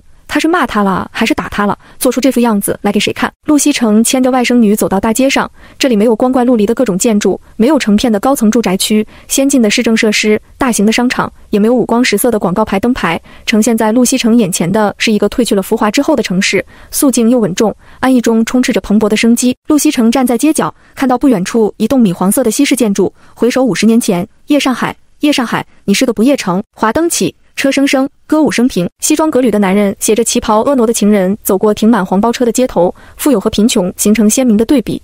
而现在，黄蓝绿占据了主色调，事情的变迁和延续在这个城市展现的淋漓尽致。这真是一个奇妙的时间节点。往前数五十年是民国时期的沪市，衣香鬓影，车水马龙；往后数五十年是新纪元的沪市，灯光璀璨，高楼林立。而他从时光隧道的那一端穿到这一端，鼻尖还萦绕着美酒咖啡的奇香，眼中氤氲着云长霓虹的异彩。他终会回去的，以另一种方式换一换新天地，别有一个新环境，如梦初醒。咣当！不远处，一个男青年骑着自行车平地摔了下去，打断了他的思绪。他好奇地看过去，旁边的小孩也随着他歪头看，两个人动作如出一辙。男青年一手扶起自行车，一手捂住自己发烫的脸，看姑娘看得摔了一跤，太丢脸了。见姑娘朝他看过来，他更是慌乱的话也说不出来。他平日不是这样，可是这姑娘实在太好看了，抬头又朝那边看了一眼。不知道是哪里不对，刚刚扶起的自行车又咣当一声摔了下去，扑哧！陆西城看他手忙脚乱的样子，忍不住笑出声来，眼波流转，樱桃唇弯弯，说不出的动人。他牵着小孩走上前，在离他两步远的位置停下，指了指他的手臂：“你没事吧？你手臂擦伤了。”没舍得把包里的手帕拿出来：“你要赶紧去医院的。你车子没坏吧？”“没没没，没事。”男青年这下更是紧张的头也不敢抬。完了，人长得好看就算了，为什么声音也这么好听啊？真是要命了，程程，你在干什么呢？往这边走。哎，来啦！想了想，他从包里拿出一块纱布，家里买了很多这种纱布，他剪了好几块做蒸布用，随手就可以取出来。那这个给你，稍微包一下，你都流血了。男青年没有想到，这个美的好像画里走出来的姑娘会送他布包扎，傻乎乎接过来。那我先走了。陆西城冲他微微一笑。牵着外甥女便转身离开了。过了好一会儿，呆立在原地半天没动的青年才恍若从梦中惊醒一般，看着手里的纱布，悔得捶胸顿足。你这呆子，呆子，呆子！人家姑娘那么好心送他纱布，他居然连一句谢谢都没有说，也没问姑娘姓什么，家住哪里，下次好感谢一下。他怎么这么蠢啊？蠢透了！第十四章，路边最美的路痴。你刚刚在和说谁说话呢？陆南飞抱起女儿问妹妹。哦，有个人摔倒了，我看看他要不要紧。陆西城随口答道。我们下面去哪里呀？去你大嫂的店里。你好好走路。陆母扯了女儿一下，她发现这孩子今天出来，好像乡下猪圈里的小猪放出来一样，欢脱的不得了，走一步还要蹦两下，人家开心嘛。路边有马路牙子，他就绕着马路牙子跳，从左边跳到右边，和跳皮筋似的。嘻嘻嘻，小乐乐趴在妈妈肩上，看姑姑这样笑个不停，乐乐也要积极走。不行，我是大孩子了，你还小，要妈妈抱着。陆西城勾了勾小孩的下巴，他跳到陆母的前面。那我们去买什么呀？你猜，陆西城哪里猜得着？他对自己下乡要准备什么还稀里糊涂的，完全是个心大的。买好吃的。陆母没好气地点了点他的额头，怎么就知道吃？乐乐都比你懂事，先去给你挑一块手表。这次可是你爸说的，妈带够钱了。手表？是啊，你不是一直想要块手表吗？啊，是哦。他真没想到手表上去，主要他不缺。衣帽间有个手表柜，从顶奢的百达翡丽、江诗丹顿、宝玑，高奢的积家、劳力士，还有万国。浪琴乃至一些很小众的品牌手表不要太多，有些是他自己买的，纯看颜值，收藏款和经典款大多是父母送的，剩下的就是每年生日和各种节日的时候，父母的生意伙伴还有自己的一些朋友们送的。选不出礼物的时候，送珠宝和手表总归不会错的。富有如他，会拒绝家人给他买手表的好意吗？怎么可能？妈妈高高兴兴带自己去挑手表，结果自己摆着手说啊，我不要，我不要，我不要，多扫兴啊！而且有新手表带哎，谁会不喜欢？他看向自己光秃秃、白皙纤细的手腕，那妈妈，我要挑一个最好看的，好不好吗？我就应该戴最好看的。对不对？徐静航从弄堂里转出来，眉宇微蹙，神情有些烦躁。下乡是来之前就确定好的，可真的到了临出发前，往日乐观的他不免还是有些不安和紧张。和父母一同来到这个城市不过一个月，父亲明面上算是政府的二把手，但还没站稳脚跟，每天忙得脚不沾地。母亲约了几个父亲同事的家人来家里做客，聊着聊着，话题就扯到他身上了，无非是那些老生常谈：有没有对象？下乡了不要被人勾走之类的。他实在不耐烦听下去，虽然很不礼貌，还是找借口溜了出来。一个人毫无目的地走着，就到了这条街上。我要挑一个最好看的，好不好吗？我就应该戴最好看的，对不对？翠甜悦耳的嗓音传来，语气里带着说不出的骄纵和肆意，却无法让人产生一点点的反感，仿佛这话说的天经地义。徐建航不由抬眸望去，不宽的马路对面，女孩身穿一件雪白的衬衣，一条深蓝色长裙，脚踩一双黑色皮鞋配白色袜子，清爽干净的，好像民国校园里走出来的女学生。偏偏她把衬衫下摆收进裙子里，又显得腰肢纤纤。多了几分妩媚。徐建航来这边前，大院里的兄弟们和他说，江南水乡的女子多么温柔软款，他不以为意。这个把月，他见过不少女同志，并不觉得有什么大的区别。现在他终于懂了，何谓吴侬软语，温柔多娇。明明从头到脚都是再素净不过的打扮，一丝亮色也无，可他却仿佛是这边路上唯一的那抹艳色。女孩围着个中年妇女打转，走路也不老实，一会侧着走，一会倒着走。还时不时蹦跶两下，两条乌黑精致的辫子随着她跳跃。徐建航一个男人不懂什么辫子的编发，只觉得这不断跳跃的辫子比他此生看到的所有辫子都要灵动。他心里原本的烦躁都随之消散了。他举起自己的手腕，那我戴银色好看还是金色好看呀？都好看。他在心里默默说了句：“我觉得我戴什么都好看，我手好看呀。”得意的的晃了晃自己的手，你羞不羞人？自己夸自己，抱着孩子的妇女忍俊不禁道：“难道我说错了？妈妈把我生得这么好看，还不许我说啊？”女孩骄傲的一扭头，无意间转向他这边，美艳绝伦的一张脸，皮肤粉白丰盈，眼睛澄澈水润，微微上弯的唇角。他转了回去，徐建航心底好像被什么撞到了一般软软的。随着他转头的瞬间，又空落落的。他挽着中年妇女渐渐远去，他站在原地，久久不能回神。陆西城早就注意到了路上行人若有若无的视线，可他从小美到大，早就习惯了别人惊艳的目光。不以为意，反倒陆母和陆南飞有些不自在。气质真的能完全改变一个人。他们以前和原主一起出来过，但原主沉闷阴郁，哪有现在的陆西城活泼明媚？注意那些个男同志盯着他女儿想看又不敢看的目光，还有一个呆瓜看着看着居然撞到了前面的男人。陆母真是不忍直视，生个女儿长得不好看发愁，长得太好看也发愁。妈，还有多久到呀？我腿酸，快到了。你才走多久就腿酸？哎，不对，你不是来过几次吗？我路痴啊。我早就忘了，陆西城说的理直气壮，这辈子不知道，反正他上辈子就是个确确实实的路痴。明明地理成绩很好，可是生活中永远分不清东南西北。大学大一、大二两年，每次去教室都要看路标才能找到，如果路标稍微歪一点，不好意思，那他只能瞎转悠了。有一次单独去一个农庄摘果子，出来的时候好巧不巧手机丢了。那农庄其实离家很近，但他就是怎么走都走不回去，一个人坐在路边哇哭。最后是他八岁的弟弟找过来把他带回家的。什么？导航，他有次在路上找个公共厕所，跟着手机导航走，明明导航说就在他附近二百米处，可他往前往后走了半个多小时，愣是没找到，又不好意思问别人这么傻的问题，还是打了车去了最近的商场解决。是导航不靠谱，还是他不靠谱？肯定是厕所不靠谱。第十五章。穷光蛋陆大小姐逛百货商店，护士人对百货商店有个统一称谓，是百或者百货公司，以号码命名。除了几家老字号外，大部分是解放后成立的。在路西城前市去过护士第一百货。解放前由华侨投资建立，九十年代中期，在他还没出生那会儿，那家店的面积就达到了两万多平方米，号称华夏第一店。而现在他到的这家，楼层不算高，但门口有好几个，最外面门头上大大的一排“沪市第七百货商店”字样极其醒目，有几个门口居然还有玻璃橱窗，陈列着精美的商品。陆西城跟着他妈往里走，门口悬挂着一串三角形的小彩旗，走进去发现这里有些像后世他见过的展销会，画了一个区域，每个区域都有柜台，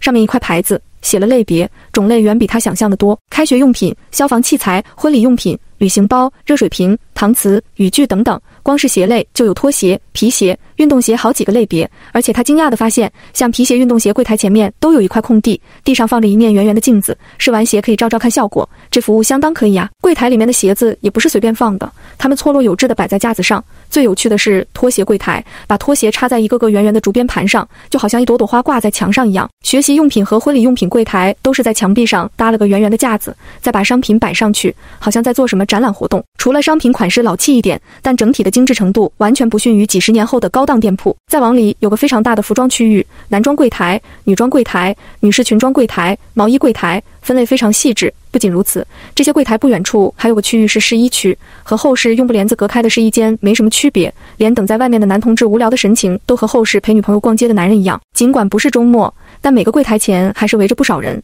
只是据陆西城观察，大多数人是只看不买的。妈，他们怎么都不买东西呀？没有票啊？所以看中了什么喜欢的，就经常过来看看有没有被人买走。还能这样？就是这样的。一九五八年后，工商业逐渐向国有制合集体制转变，国家大部分生活资料都通过统购统销、定量供应、凭票购买的方式纳入计划分配的范围。百货公司采用的是单一采办销售式的自我经营模式，承担着稳定物价、保证市场供给的职能。这也是为什么这些柜台都布置得这么精致，因为商品不多，根本没有那么多的货物堆放。随着人流转弯，走过服装区，陆西城眼前一亮。滚滚是一个比他人还要高尚一些的大熊猫，圆圆胖胖的身体站在那里，憨态可掬。原来这是个玩具柜台。虽然国家在八十八年才将大熊猫列为一级重点保护野生动物，但国人对这个颜值萌萌哒的团团有着特别的喜爱。整个柜台最醒目的就是大熊猫了，好几个小孩子围着他看。陆西城握了握大熊猫的小短手，问柜台里的女营业员：“同志，这个怎么卖的呀？”女营业员看到他问这个超大的玩偶，惊诧一下：“不好意思，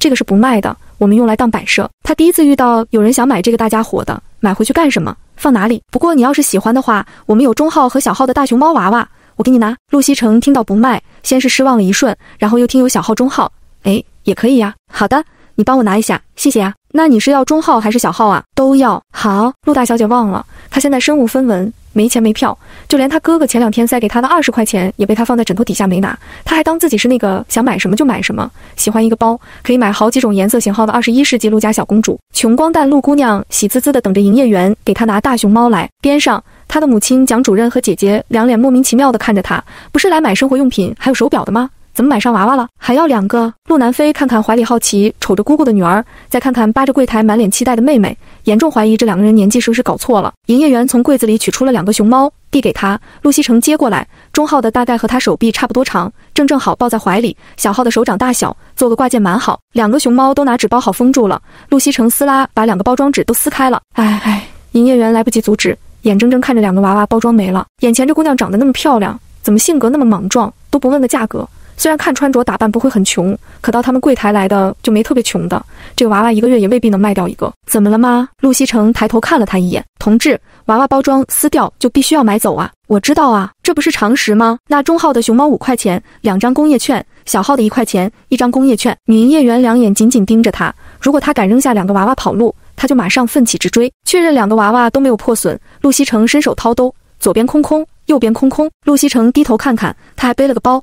包里有一块小手帕，呵呵，尴尬，眨巴两下眼睛，瞄了一眼营业员，营业员微笑令，脑袋向右转九十度，看向自己的老母亲，露出一个狗腿的笑容，桃花眼弯弯，声音甜的能滴出蜜来。妈妈，蒋主任面无表情应。噗，陆南飞看得笑出声来，他以前怎么没发现妹妹还有搞笑天赋呢？妈妈，妈妈，妈妈，我没钱，您帮我买吧，好不好？陆西城挽着陆母的胳膊，开始撒娇，你没钱，你还敢把人家的包装撕了，撕的还特别利落。不给人反应的时间，我忘了吗？第一次买东西啊，陆母与陆南飞与营业员，还有人能忘了自己没钱的？第十六章购物狂讲主任，而且我知道我是和我妈一起，有我妈在，我什么都不用操心。妈妈妈妈妈妈，你就帮我买了吧。陆母被他缠得没办法，东西都拆开了，他还真能说不要了。抓起柜台上的中号大熊猫，你东西翻来覆去的看，可爱是挺可爱的，你喜欢买一个就好了，为什么还要两个？陆西城把熊猫接过来抱在怀里，可以抱着啊，然后呢，抱着呀。舒服，陆母不理解，他又指了指桌上的小娃娃，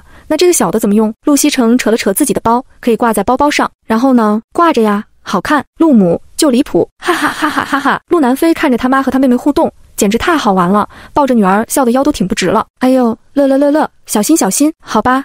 他差点连女儿都摔了。女营业员看着这对母女互动，也是笑得不行。看这位母亲的态度，肯定会给女儿付钱的。虽然她还是不理解为什么要买两个。陆母无奈地摇摇头，从钱包里掏出来六块钱和三张工业券，递给女营业员：“麻烦你了，有没有东西可以装一下？不能一路抱着吧？我给你们拿个绳子系起来吧。”于是陆西城就看着他妈和营业员联手用绳子绑住了两个熊猫的脖子，一端一个。他妈把绳子中间塞到他手里，拿好了，六块钱呢。陆西城呜呜，可怜的熊猫要被勒死了。陆母决定不给女儿瞎看的机会了，带头在前面走。陆西城和陆南飞走在他后面。陆西城摸摸小号的熊猫，看看趴在姐姐身上的乐乐，姐，我要不要给乐乐一个呀？最多给一个小的。陆南飞斜睨了妹妹一眼，没好气道：“你这话是真心的，是吧？行啦，咱们乐乐才不要你这个，咱们乐乐喜欢好看的东西，对不对呀？那我这个熊猫也很好看啊，颜色不好看，行吧？永远只能拍黑白照片的滚滚也是蛮惨的。陆家大嫂在二楼，他们乘坐电梯上去，二楼和一楼是完全不同的场景。举个例子，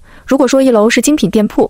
那二楼大部分都是原材料店铺，混纺绒线、呢绒、的确良、棉布、涤纶、灯芯绒等等。大嫂曹琴在的确良柜台，这个柜台是最忙的，外面围了一圈人，挥着手指着柜台里的一匹匹布料，吵吵嚷嚷。曹琴刚刚接待完一个顾客，抬头看到了他们，他和身边的同事说了一声，就出了柜台。妈，你们来啦！他掏出了口袋里的一叠纸，递给陆母。妈，这是我找其他人凑的，有二百六十块的额度，您拿着。你们，咦，程程，你买了什么呀？陆西城把中号的大熊猫抱起来，买了两个熊猫，两个熊猫。他看看陆母，陆母很端庄；看看陆南飞，大姑子想笑不敢笑的表情。最后又看看小姑子，陆西城一脸乖巧。所以什么情况啊？陆母数数手里的券，换到了这么多呀？是啊，找的都是平时关系好的同事，我以前也帮他们换过，互相帮忙吗？陆母点点头，行，替我谢谢他们。对了，我们中午去对面国营饭店吃饭，你记得过来，我点你喜欢吃的小酥肉。哎，好，谢谢妈。那我先过去忙了。他回到柜台里面，和他一组的赵红叶拉着他问道：“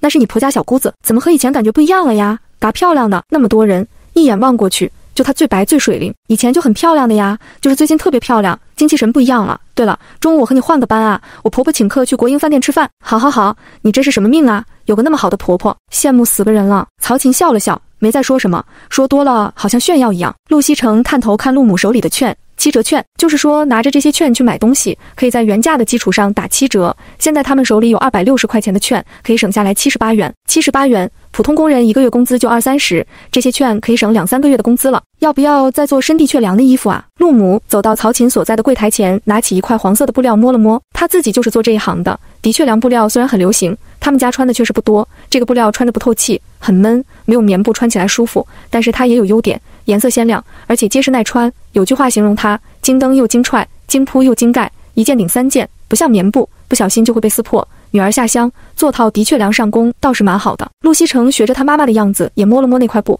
随即摇摇头：“我不要穿，这布料硬邦邦的，一点都不软和。妹妹，你下乡去，你原先那些衣服可不适合穿到地里去。我觉得这个挺好的，是吗？”陆西城懵懵的，主要吧。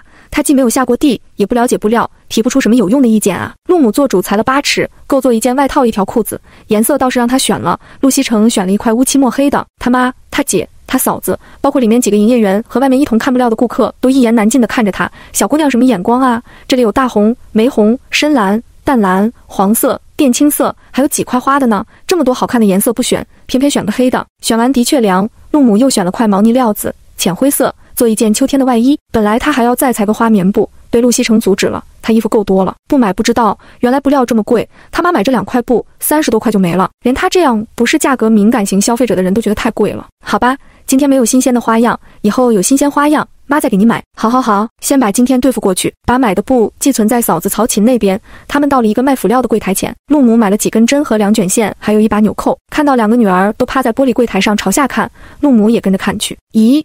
这些布条以前怎么没见过？林同志，这是新上的货吗？陆母经常上这边来买辅料，是老熟客了。第十七章国营饭店吃饭饭。营业员林同志摆摆手，什么货不货呀？他随手抓了一把给他们看，和其他布匹一起进来的，说是从南方弄来的，全是这样零碎，连个背心都做不了，就放在我这儿卖，价格很便宜，不要票的，不要票。陆母本来是看着花色挺好看的，听到不要票，眼睛就亮了。现在城里人每人一年就三尺布票，一件衣服都不够做的。她丈夫多一点，两个加起来也不过才十尺。他们家有多的布票，多数都是去黑市买的。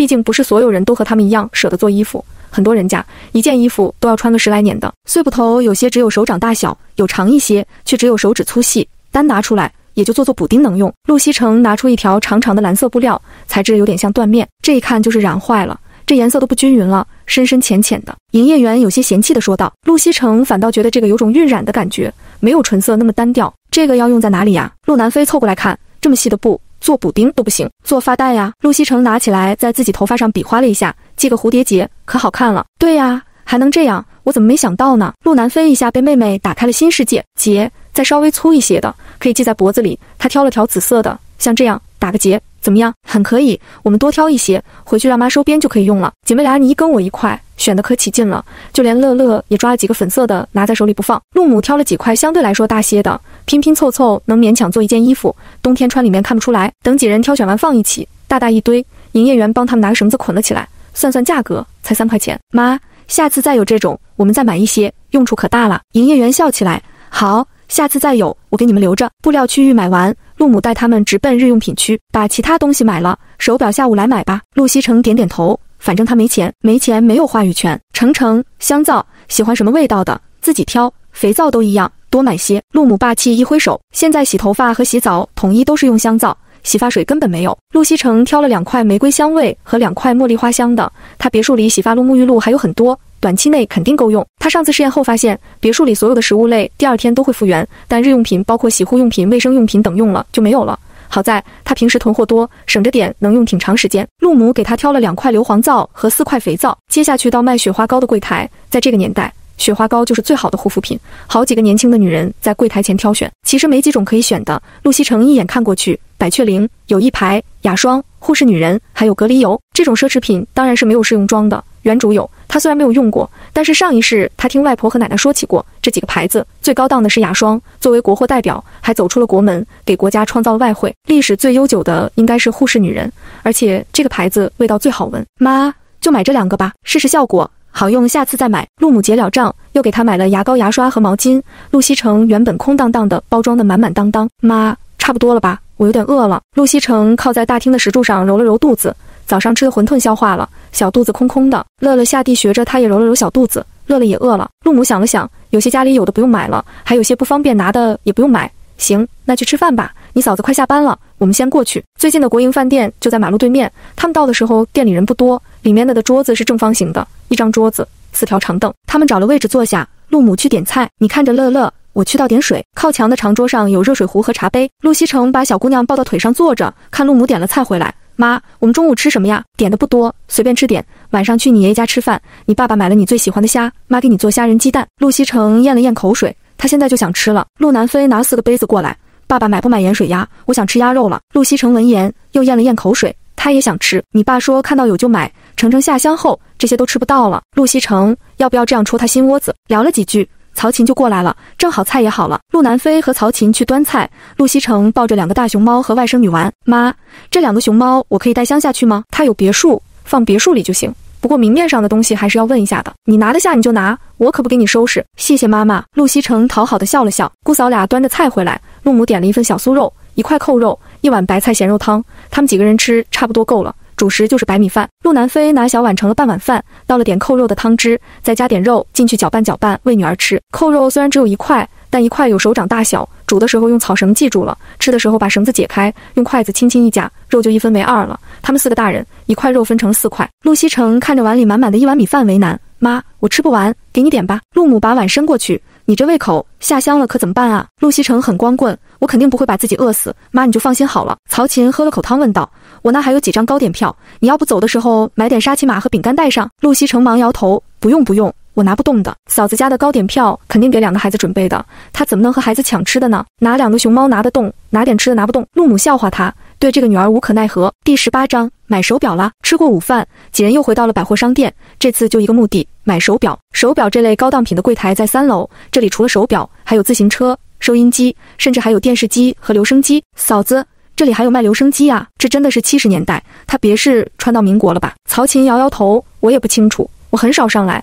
不过听说这个留声机在店开业的时候就有了，这么多年都没卖出去。陆西城点头，卖不出才是正常的。留声机配合古典音乐，跳曲华尔兹，这年头谁搞这玩意儿啊？别说留声机了，这两台电视机也放了好久。电视机票太难弄了，他公公那么高工资，买台收音机也费了好些劲才弄到票的。这年头的四大件。自行车、手表、缝纫机和录音机。在沪市，最好买到的就是自行车，效益好些的单位年底的时候会发几张自行车票。没有自行车票，攒够了一定数量的工业券也可以直接买。其他三样相对来说买起来难一些，必须要对应的票证才能买。他们走到手表柜台前，现在手表品牌不多，沪式牌、海鸥牌、东风牌，还有一款进口的梅花牌手表。在这里买梅花牌手表不需要外汇券，但是价格比在外汇商店买要贵上一些。陆母直接看梅花牌的手表，程程，你看看喜欢哪个？陆西城低头看去。相比后世款式更加精致、功能更加全面的手表，这个时候的表有种返璞归真的味道。营业员是一个四十岁左右的女人，看他们四个女在看表，便主动问道：“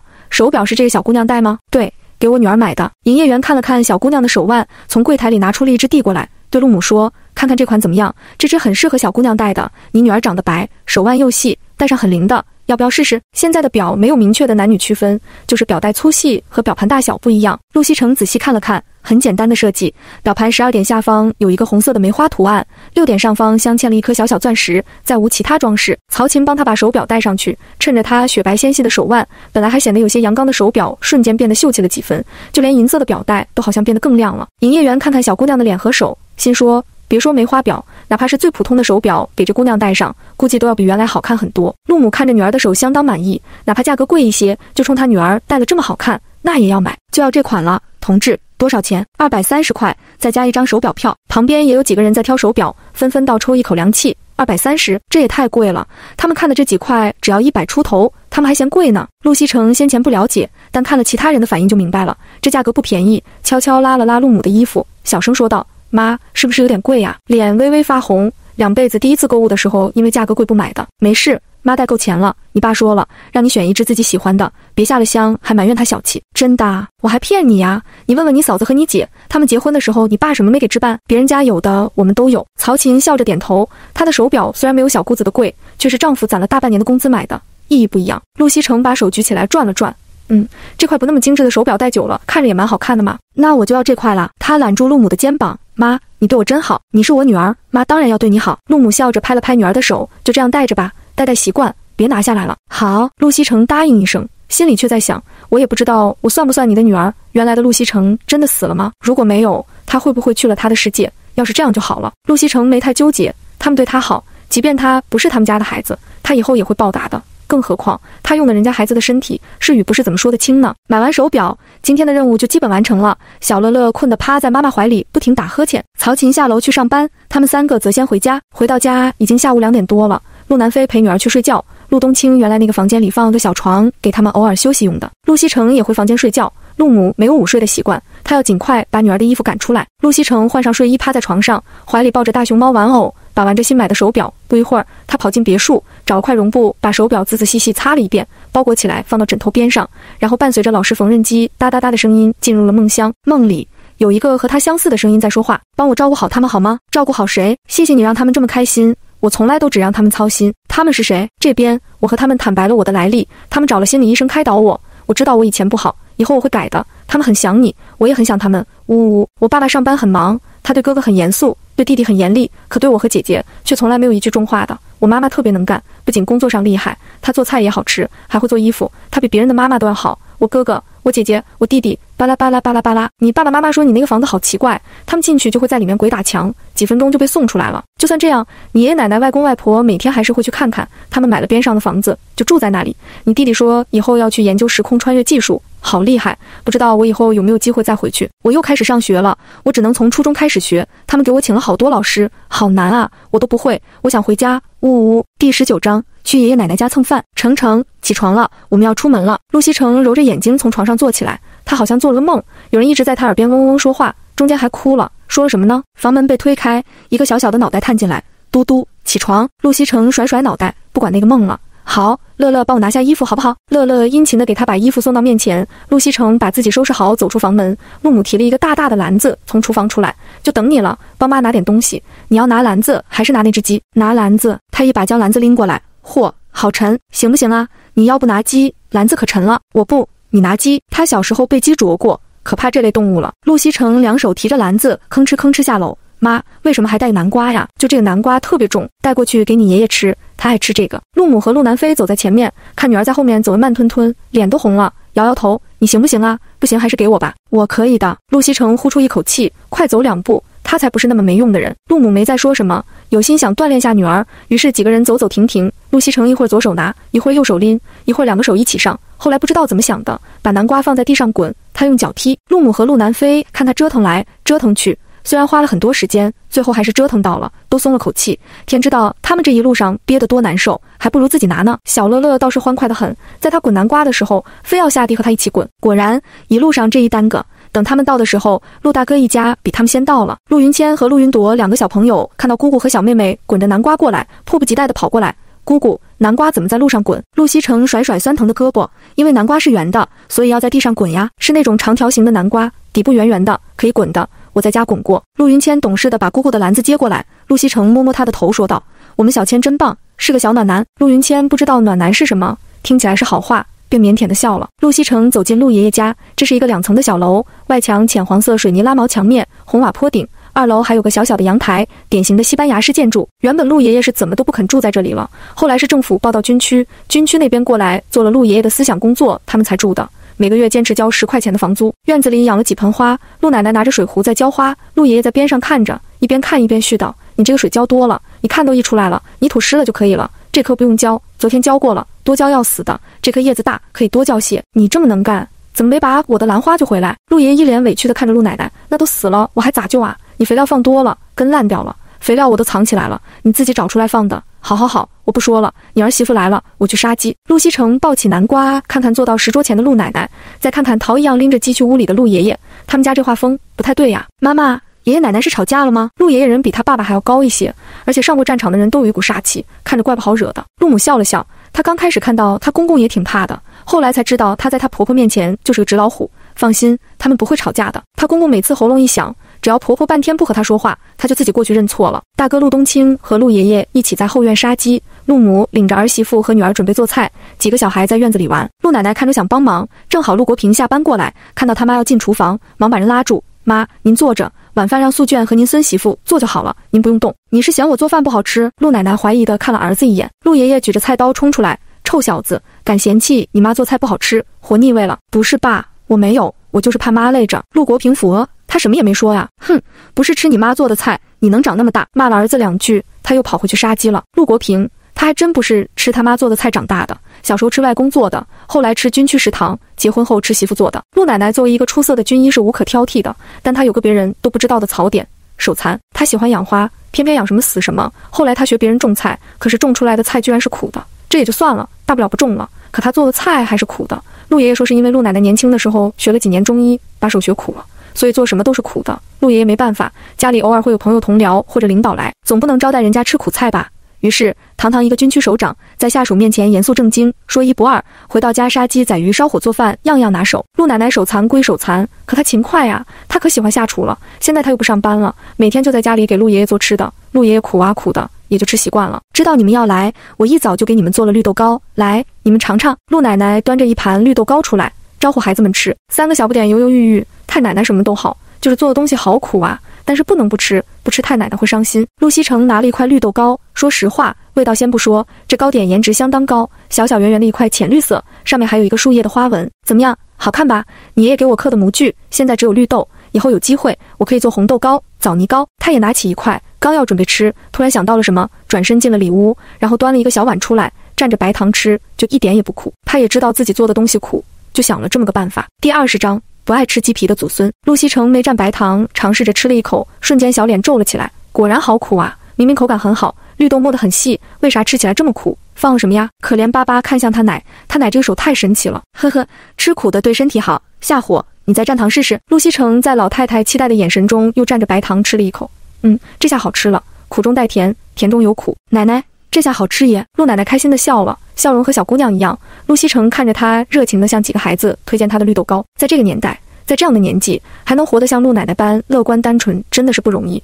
他突然对陆爷爷那个外表凶凶的老头很是佩服。每人吃了一块，陆奶奶就把他的绿豆糕端走了，不给多吃。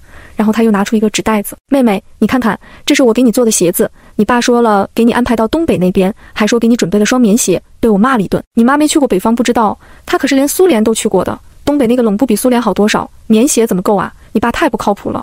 东北那边要穿这种鞋子才行，棉鞋就在屋里穿穿。说着，他拿出他准备的鞋子。陆西城眼睛一亮。啊，你别看样子不好看啊，穿着可比棉鞋暖多了。我特地让你爷爷找的牛皮和羊皮羊毛，你看看喜欢不？他虽然做菜不行，但是针线活很好的，只是这个牛皮不好做。他做这个鞋还费了好几根针。陆西城把鞋子接过来，这不就是厚实的雪地靴吗？里面厚厚的一层羊毛，看着就暖和的很。他奶奶还特别有童心的，在两只鞋子上各绣了一只黄色的橙子。奶奶，我好喜欢这双鞋子啊，好漂亮，纯手工，独家定制，有没有？喜欢就好。这个底我都用了一层牛皮，你只要不是去踩水坑，里面都不会湿的。对了，还给你做了副手套，你等等。老太太快速的进屋去，又拿了个纸袋出来，看羊皮手套，里面也是羊毛的，这样就不用怕动手了。这次她没有绣橙子，而是做了四个小橙子，一边两个挂在上面。陆西城捏捏毛茸茸的小橙子。太可爱了，他奶也太可爱了吧！一低头，三个小不点齐刷刷抬头看着他手里的手套。陆西城马上把手套藏到身后，这是我的，我一个人的，奶奶送给他的。小乐乐，小橙子好好看，想吃。朵朵，小橙子好好玩，想捏。云谦，姑姑还是和以前一样幼稚。快开饭的时候，陆南飞的老公严红一过来了，风尘仆仆，大包小包的。我先回了趟家，家里说菲菲和乐乐在这边，我就马上过来了。爸妈、爷爷奶奶，这是我这次带回来的一些吃的，还有什么我能帮忙的吗？他衣服都没来得及换，还穿着列车员的制服。陆母摆摆手，你坐着吧，火车上肯定没休息好，这黑眼圈重的。严红一摸摸自己的眼睛，笑了笑。列车员这工作看起来光鲜，但实际上吃的不规律，睡觉每次都只能轮换着眯一会儿，也很辛苦的。而且一走就是好几天，根本顾不上家里。看着靠在妻子身上看着他的女儿，严红一蹲下身拍拍手。乐乐，来，爸爸抱。乐乐好奇地瞅着这个长了点小胡子的男人，再看看自己的妈妈，仿佛在问：这个是爸爸吗？为什么长得不一样了？陆南飞走过来揉揉女儿的头，你不是天天念叨着爸爸吗？爸爸回来了呀，真的是爸爸呀！乐乐向前跑了两步，站到严红一身前，仔细地辨别了一下，真的是爸爸。他一把扑向男人，爸爸，哎，爸爸的乖女儿，抱着怀里柔软的小身子。严红一抬头看向妻子，菲菲辛苦了。他们少年相识，相知相爱，感情甚笃。每次分开几天回来，总觉得在一起时间不够，连他妈都说他们结婚好几年了，比读书那会儿还腻歪。陆西城羡慕地看着，哎，他也好想扑向爸爸怀里呀。他那对大忙人爸妈有没有想他呢？转头看到他妈端着盆子出来，马上窜过去，妈，我帮你呀。哼，他还有一对爸妈呢，才不要看他们夫妻恩恩爱爱。狗粮吃饱了还怎么吃饭？素娟，我来我来，这个太烫了，你去端鸭子，那个冷的。陆国平不知道从哪里冒出来。挤走女儿，把一大盆鸡汤端走了。陆西城还有完没完？今天是狗粮发放日，怎么的？狗粮要吃，晚饭也要吃。几个男人在院子里摆了张大大的桌子，晚上就在外面吃。要不是这个房子外面有高高的围墙，他们也不敢这样。今天一桌菜太好了，虽然是难得这样吃的，但给人看到总归不好。笋干鸡汤、虾仁炒鸡蛋、豆角肉片、清炒茭白、红烧排骨、清蒸芋头、虾头海带豆腐汤、清蒸鲈鱼、香煎豆腐干，还有陆父买回来的盐水鸭和蜜汁糯米藕。满满当当摆了一桌，女人和小孩每人还有一杯北冰洋汽水，男人开了一瓶白酒。他们吃饭规矩不大，等老人动筷后就各自吃起来。陆西城给自己盛了碗鸡汤，饭前先喝汤。陆母起身把鸡拆开，爸妈，你们要鸡腿吗？陆爷爷摇摇头，我不要，给你妈留个鸡翅，鸡腿给妹妹吃。陆母把一个鸡腿放进女儿碗里，她这只鸡买的特别大。陆西城看着碗里的鸡腿，皱起了小眉头。鸡腿很香。但是皮好肥啊！他平时吃鸡，除了炸的和烤的那种，一般都不爱吃皮，嫌油腻。陆母见女儿盯着鸡腿不动，好奇问道：“怎么不吃？你不是最爱吃鸡腿吗？以前还和几个小孩抢鸡腿吃。”陆西城心虚地看了眼周围，没人注意他。他凑到陆母耳边小声说道：“妈，鸡皮好肥，我不想吃鸡皮。不是越肥越好吃吗？”陆母瞅着女儿，以前没这毛病啊。陆西城冲他眨巴两下眼睛，没等说什么呢，就听另一边的陆奶奶开口了：“我也不爱吃鸡皮。”妹妹，你把鸡皮撕下来给你爷爷吃，他就爱吃皮。第二十一章爷爷奶奶的往事，这样不好吧？陆西城犹豫地看了眼陆奶奶，又瞄了眼陆爷爷。老头严肃的脸上看不出一丝表情，只是亲手夹了个鸡翅，还是给他脱皮。鸡翅皮不比鸡腿，并不好撕。等他撕完，整个鸡翅看起来磕碜极了。他把丑巴巴的鸡翅放进陆奶奶碗里，陆奶奶满意的看了一眼，慢慢吃了。一桌人看得目瞪口呆。陆国平筷子上的蜜汁藕汁滴到了桌上。妈，我们怎么不知道你不爱吃鸡皮？陆爷爷把碗里的鸡皮塞进嘴里。你妈一直就不爱吃，只是没好意思说。爱吃鸡不爱吃皮，孙女这点和她老伴儿一样。妹妹，把你那皮也给我吧。哦，陆西城呆呆愣愣的，机械的把鸡腿皮撕下来，放进爷爷碗里。啊呀，他以后一定也要找一个帮他吃皮的男人。什么时候出发？时间定了吗？陆爷爷问。后天上午十点的火车。陆国平擦了擦桌子，回答父亲。行，奶粉票我弄到四张，你们买好了带去吧。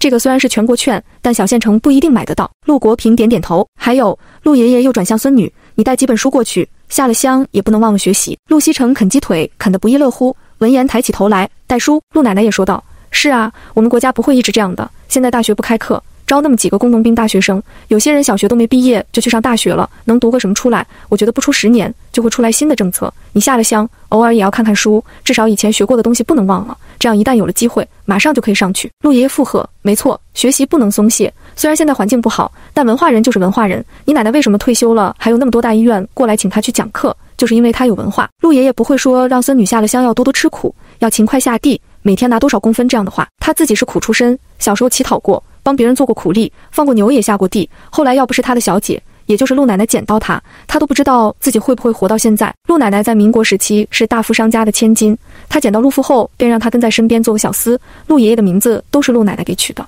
随他姓陆。陆奶奶少女时期上的西式的学堂，空闲时间会教陆父认识几个字。少男少女朝夕相处，难免暗生情愫。可当时的陆爷爷就是个无父无母、没有任何身份地位的下等人，心里再如何爱慕小姐，也知道自己是配不上的。唯一能做的就是守着他。陆老太爷就一个宝贝女儿，哪能看不出女儿的心思？就观察了陆爷爷一段时间，发现这个小子性情坚韧，做事有勇有谋，还有一股子狠劲，但对女儿却是百依百顺的。当时时局已经非常乱了，各处战争频发。陆老太爷敏感地意识到会有一场大战即将爆发，当即变卖了大半家产。遣散家仆，陆爷爷知道这是他的机会，果断投身革命。凭借着过人的胆识和热血，参过了无数次大大小小的战役，最后以一个军官的身份娶到了他的小姐。陆奶奶大学念的医科大学，嫁人后从跟着丈夫在后方做战地医生。陆爷爷本可以爬得更高，但为了照顾妻子，放弃了很多次立功的机会。所以，陆爷爷的观念和当下很多人都不一样。他觉得每个人能吃苦的点不一样。难道他妻子年轻时候学医不是吃苦吗？救人的时候几天不眠不休，不是吃苦吗？他一点都不觉得孙女不能吃下地的苦，怎么了？陆西城自然不知道爷爷的想法，他只感叹两个老人家太有远见了。他记得前世看到过一组数据，到明年，也就是七十二年的时候，在京城的十多家高校中有初中文化水平的不到百分之二十，里面的学生文化程度太低，这些学生不说去研究科学技术，就是连听课都听不懂，人才严重断层。所以在七十七年的时候，国家开始恢复高考。爷爷奶奶，我知道了，我会把高中的教材都带上的。一定不会忘了学习。陆西城乖巧地回道：“这辈子的爷爷奶奶和上辈子家里的四个老人一样睿智。这顿饭吃了一个多小时才吃完，吃完天都半黑了。收拾好碗筷后，便各回个家了。”陆父推着自行车，陆西城挽着陆母的手臂，一家人朝家里走去。可能喝了点酒的缘故，平日里话不多的陆父今天特别絮叨，一路上说个不停。妹妹，你别怪爸爸，要不是你弟弟跑了，爸爸怎么舍得让你下乡呢？小兔崽子，下次回来我一定要打死他。妹妹，你到了那儿就过自己的日子。缺什么和爸爸说，咱们不求别人。有些男知青到了乡下就会骗女孩子，你可不能上了他们的当啊！你爸爸我还是大学生呢，什么有文化的知青，连你爸都比不上，不要理他们。还有那些乡下的小子，家里七大姑八大姨的，你数都数不全。我们家妹妹不能去那样的人家，你要一个月写一封信，打一个电话回来，不然你妈会想你的。陆母白了丈夫一眼，感情你不想啊？陆西城在一旁，无论老父亲说什么，他都回答好，要走了，让人高兴高兴。而且他爸爸说的也没错呀，他还小呢。不能这么早早被人骗走了。夜色渐深，陆西城仰头望着朦胧的月光，被陆父勾起一丝惆怅来。他才刚开始适应这里，又要马上离开了。远方等待他的会是什么呢？看着身边挽着他的母亲和喋喋不休的父亲，陆西城弯了嘴角。无论怎么样，他已经比大部分人都幸运了，不是吗？第二十二章，收拾行李，回到家，洗漱过后，各自回房间休息。陆父拿出口袋里的钱包给陆母看，老爷子给了两百块。陆母闻言惊讶地抬起头。咱爸怎么给这么多呀？他以为最多给一百呢。应该是妹妹今晚让老太太高兴了，你知道的。咱爸呀，老太太高兴他就高兴。正因如此，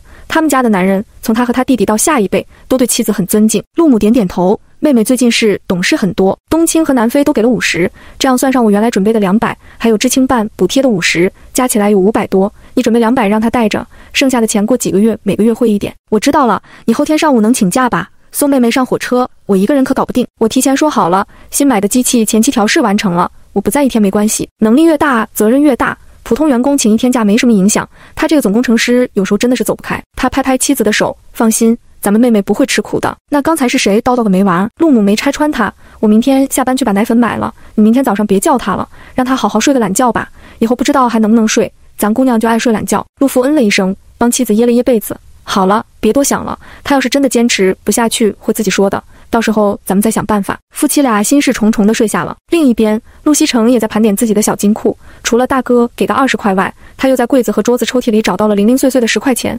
也就是说，他现在一共有三十块。拿出他让陆母给他做的小橙子钱包，把钱都塞进去，满意的拍了拍，他总算不是穷光蛋了。他又把陆奶奶送的鞋子和手套翻出来看了看，鞋子里面的毛好厚实，软乎乎的，他好喜欢。摸着摸着，咦，这里面怎么还有东西？拿出来一看，居然是一叠钱，卷着塞在鞋头的位置。陆西成数了数，有五十元，还有一张纸条，一行娟秀的字。奶奶悄悄给的，别给你爸妈知道。陆西成失笑，这老太太，她把钱整理好，塞进小钱包里，扁扁的小橙子瞬间变得鼓囊囊的。去卫生间洗了洗手，抱着他的大熊猫，甜甜的睡去。熟悉的起床歌声响起，陆西成翻了个身继续睡。他爸妈没喊他起床吃饭，还早呢，肚子好饿啊。直到肚子传来咕噜噜的叫声，他才睁开眼睛。阳光透过窗帘照进来，夏末的房间热烘烘的。几点了呀？怎么没人叫我吃饭？拿起枕边的手表看了下时间。九点四十，揉了揉睡得乱糟糟的头发，走出房门，整个屋子静悄悄的，就剩他一个。餐桌上盖着罩子，早饭被陆母用碗盖着，还有余温。陆西成一边喝粥，一边看陆母留下的字条。早饭在桌上，妈妈做了两个菜，午饭你自己蒸点米饭。柜子里有你两个舅舅送过来的一些吃的。他打开柜子，里面有两包真空包装的板鸭，一包肉干，两袋虾干。一包大白兔奶糖，还有一个橘子罐头和一个荔枝罐头，这些东西昨天没有的，看来是大舅、二舅家送来的。他没动包装好的板鸭，只拿了一个虾干吃，没有剥壳，便咬了一口，脆鲜好吃。这肯定是大舅舅送来的，满满两大包。大舅舅自己攒不到这么多，估计是和人换的。吃了几个虾干，洗了碗筷，回到房间，打开了原主的课本，语文、代数、平面几何、立体几何、物理、动物学、植物学、化学、政治，学科不少。陆西城大概翻了翻，除了政治外，其他的内容大致都学过。高中的内容比他以前的高中内容简单很多，心里约莫有了底。作为一个经历过高考的二十一世纪大学生来说，他并不想再去参加一次考试，但是想不想和能不能考上是两回事。万一他想考了却考不上呢？太丢重生人士的脸了。把书扔到一边，趴到床上抱着熊猫玩。他都会了，学习什么的。以后再说吧。晚上，陆母回家的时候，陆西成正在厨房里忙活。在他用光了一整盒火柴后，终于学会了怎么生煤炉。他高兴地蹲在炉子前烧水。陆父加班，母女俩简单弄了两个菜吃了。前几天吃的太好，家里没存货了。饭后，陆母从他们卧室拿个行李箱过来，皮革的箱子，看大小在二十寸左右，手提式，相当复古。你爸去年新买的箱子，让他用旧的，这个新的给你。陆父的工作有时候需要出差，旧的箱子用了十几年了，一条被褥，一条被子。床单和枕头，再加几套换洗衣服，全部用包袱装好。箱子里放鞋袜、洗漱用品，一个大搪瓷杯子，一个饭盒。妈，还有我的熊猫，还有书，东西好多呀！好在箱子够大，全部能塞进去。陆母编了个红绳，把两个钥匙穿进去，挂在女儿脖子上。要是我多磨了几个，还有一个放口袋里，千万别丢了。好，要不妈再给你装个脸盆进去呀？你第一天怎么洗脸洗脚？不要了，妈，我拿不动，这两个就好重了。陆西成没说假话，他的行李不算多。但对于他这个小身板来说，真的是很难拿了。他打算路上有机会就放一部分到别墅里去，要不然到了那里他一个人要咋办？陆母也没办法，他倒是想亲自陪着女儿去呢，但没有介绍信，根本连市都出不了。他又拿出一叠钱，这是两百块钱，五十你带身上，五十放包里，五十放箱子里，还有五十我给你藏枕头里。你总不会那么倒霉，全丢了吧？陆西成，妈，你可不可以不要那么看不起我？这些票你爸给换的，工业券、粮票、糖票、副食品票、棉花票。布票你放包里随身带着，到了那里需要什么就买，不够妈再给你寄。你的衣服鞋子妈也给你寄过来。知青下乡第一年是不允许回乡探亲的，所以女儿这一走至少要两年见不到。陆母恨不得把家都给邮寄过去才好。寄东西慢，如果那边太冷，你就自己买两件衣服穿，买点棉花和布让老乡做也行。对了，陆母匆匆跑到屋外，把那一堆吃的全拿过来，东塞西塞，全部塞进了两个行李里面，只留了一包虾干在外面。陆西城都不知道他妈那么会收纳整理，妈。你们不留一点吗？他坐在床边，完全没有动手的余地。勤快的老母亲养了他这么个笨拙的姑娘。第二十三章，准备出发。不用，我们要吃再去买就行。陆西城晃着小脚，妈，罐头好重啊，玻璃会不会碎呀？碎倒是不会碎。你表姐厂里做的这个水果罐头玻璃特别厚实，你要是嫌重就路上吃了。这个东西不好邮寄，奶粉记得每天晚上泡来喝。妈没给你买麦乳精。你奶奶说那个没什么营养哦，妈明天给你包里再放点水果糖，要是路上其他人分给你吃的，你回送人家两颗水果糖就好了，奶糖留着女儿自己吃哦。陆西城趴在床上无精打采的，好了，妈不打扰你了，晚上好好睡一觉，明天妈叫你。幸亏护士有火车站，有些小县城赶火车要半夜就出发的，出发这天早早上七点不到，陆西成就被他妈从床上拖了起来，动作快点，粥放在桌上凉着，换好衣服来吃。今天不要穿裙子。陆西成被妈妈催得像个小陀螺，咕噜噜瞎转。外套，把外套穿上。鞋子，穿那双新的运动鞋。水壶不要忘了。我给你泡了糖水，还有一个饭盒，煮了几个鸡蛋，一起放包里了。今天就吃掉，明天要坏掉的。把自己收拾好。陆父和陆冬青开门进来，陆父怀里还抱着一袋包子。哥，你怎么来了呀？陆冬青摸摸妹妹的脑袋，厂里不忙，请了半天假过来送你，怕你哭鼻子。我又不是小孩子了，我才不会哭鼻子呢。他躲开他的手，把他漂亮的辫子都摸乱了。陆西城行李确实不算多的，他这个不要，那个嫌重，就一个箱子一个包袱，一般男青年提了就走。可惜他就是个废材，肩不能挑，手不能提。一家人出门的时候，他身上除了一个水壶，两手空空。包妈妈背了，包袱爸爸拿着，箱子哥哥提着。家属区门口不远处有公交站台，坐公交车的人不多。他们到的时候，就一个父亲模样的男人也扛着包袱和一个女孩一起等车。走近看到女孩的脸，陆西城暗道一声晦气，居然是那个讨厌的刘小草。陆厂长，陆厂长，你好，我是三车间的老刘啊，我闺女和您家女儿分在一个地方，您说这不是巧了吗？呵呵，男人看到他们一行人，殷勤地跑过来打招呼。陆国平微微点了下头，他和这个老刘不熟，只知道妻子和对方的妻子娘家是一个村的。刘小草提着两大袋行李，瘦瘦小小一个，怪可怜的样子。陆西城装作没看见，挽着陆母的手臂打瞌睡。车子很快来了，陆父陆大哥先把东西搬上车，陆西城母女也上车找了位置坐下。老刘把包给女儿刘小草，叮嘱道：“爸就送你到这儿了，你自己路上小心点。”钱省着点花，到了那儿勤快点，多赚点工分，分到钱寄回来。你两个哥哥还要娶媳妇呢。刘小草点点头，目送他爸爸走了，搬了一个行李上车，站在过道上，眼巴巴地看着陆父几个。陆父转向身边的包袱，妻子打结不行啊，他得重新打一个。陆冬青动了动箱子上的锁，妹妹这个锁不会坏吧？他研究研究。陆母闭上眼睛，女儿打哈欠打得他也困了，算了，眯会儿吧。你还上不上车呀？就等你了，售票员不耐烦地喊道。刘小草颤抖了一下，匆匆下去搬其他的行李，心里不停地抱怨：这陆家人会不会做人，一点忙都不帮，不怕陆西城以后和他相处尴尬吗？车子开了半个多小时，到了火车站，陆南飞早早便在大门口等着，看到他们下车，忙迎过来：“爸妈，你们来啦，票我买好了，我公公他们在里面，我们进去吧。”说着想帮陆父拿包袱，被拒绝了。南飞姐。你帮我拿个吧，他们这么多人才两个不大的行李，给他拿两个不是正好？陆南飞向妹妹投去疑问的眼神，陆西城连忙摇头，这可不是他招来的。陆南飞懂了，这是闹掰了呀！太好了，他早就看不惯他妹妹的这个朋友了，也就他妹妹人傻，以为对方是好人呢。几人没管后面，径直朝候车室走去。刘小草在后面气得跳脚。陆西城，你就得意吧，等下了乡，还不是要求我干活？到时候你那些好吃好喝的都是我的。候车室，严弘毅和几人站在一起。陆南飞带着他们走过去。老严，老陆啊！陆父和一个中年男人握手。这是严弘毅的父亲，沪市铁路局物资管理处主任。老严，真是不好意思啊，为了我女儿的事，让你也跟着忙活。你这说哪里的话？我家是没姑娘，要是有啊，我比你还操心。再说我也没帮上什么忙。来，我带你们认识两个人。这是小邓，他是负责餐车工作的。到饭点，咱姑娘过去吃就行。餐车票你拿好。现在的火车餐车车厢是只对卧铺乘客开放。普通乘客买饭会送到座位上，菜相对来说要差很多，当然价格也要便宜。小邓是个短发的女同志，她冲陆西城笑了笑：“妹妹到时候直接来找我就行，我一直在餐车里的。”妹妹长得真好看，她朝旁边的男同事看了一眼，果然男同志脸红红的。这是小李，是乘务员，和我家红毅一样，负责查票的。妹妹路上有事都可以找小李帮忙，下车了行李也让他帮。大小伙子力气有的是。陆西城甜甜的朝他们一笑，鞠了一躬。邓姐姐、小李哥，程程路上就麻烦你们了。乖巧可爱的小姑娘，谁不喜欢呀？三人很快就熟络起来。陆西城姐姐长，哥哥短，把两人哄得开心的不行。陆母看女儿这样懂事，悬着的心总算放下不少。况且况且况且，车来啦，大家赶紧上车。弘毅，帮你岳父把包袱拿了。严父招呼大家进站。这时候的火车站，买个站台票就可以送上月台。一个方方正正的车头，披着一条暗绿色丝带驶来，冒着黑烟。慢腾腾的，等车子停稳，陆冬青和严弘毅两个年轻男人先进去，陆西城和陆母跟在他们身后，陆父在最后护着母女俩。这节车厢是知青车厢，里面已经坐了一些人。陆西城找到位置，看哥哥姐夫把行李放好，突然就红了眼眶。第二十四章，火车上一，他抱着陆母的腰，靠在他怀里，眼泪直接就滚了下来。妈，我舍不得你，呜呜呜。陆母拍拍女儿的背，也鼻头发酸。好了。哭什么哭？多大的人了，这么多人看着呢，你羞不羞？不羞不羞。呜呜！陆父从后面赶过去安慰女儿：“爸爸以后有机会到北方出差，就过去看你，在那边缺什么，给爸爸妈妈打电话，爸爸单位的电话记下了吧。”时间有限，夫妻俩安慰了女儿几句，就下了车。陆西城抹着眼泪，趴在窗口看妹妹乖，头别伸出来，坐好，车子要开了。火车鸣笛声响起，慢慢开始挪动。陆西城跪到座位上，看陆父、陆母哥哥追着火车跑。嘴里的话被火车声音掩盖，人也渐渐的越来越小。他伸手出去挥了挥，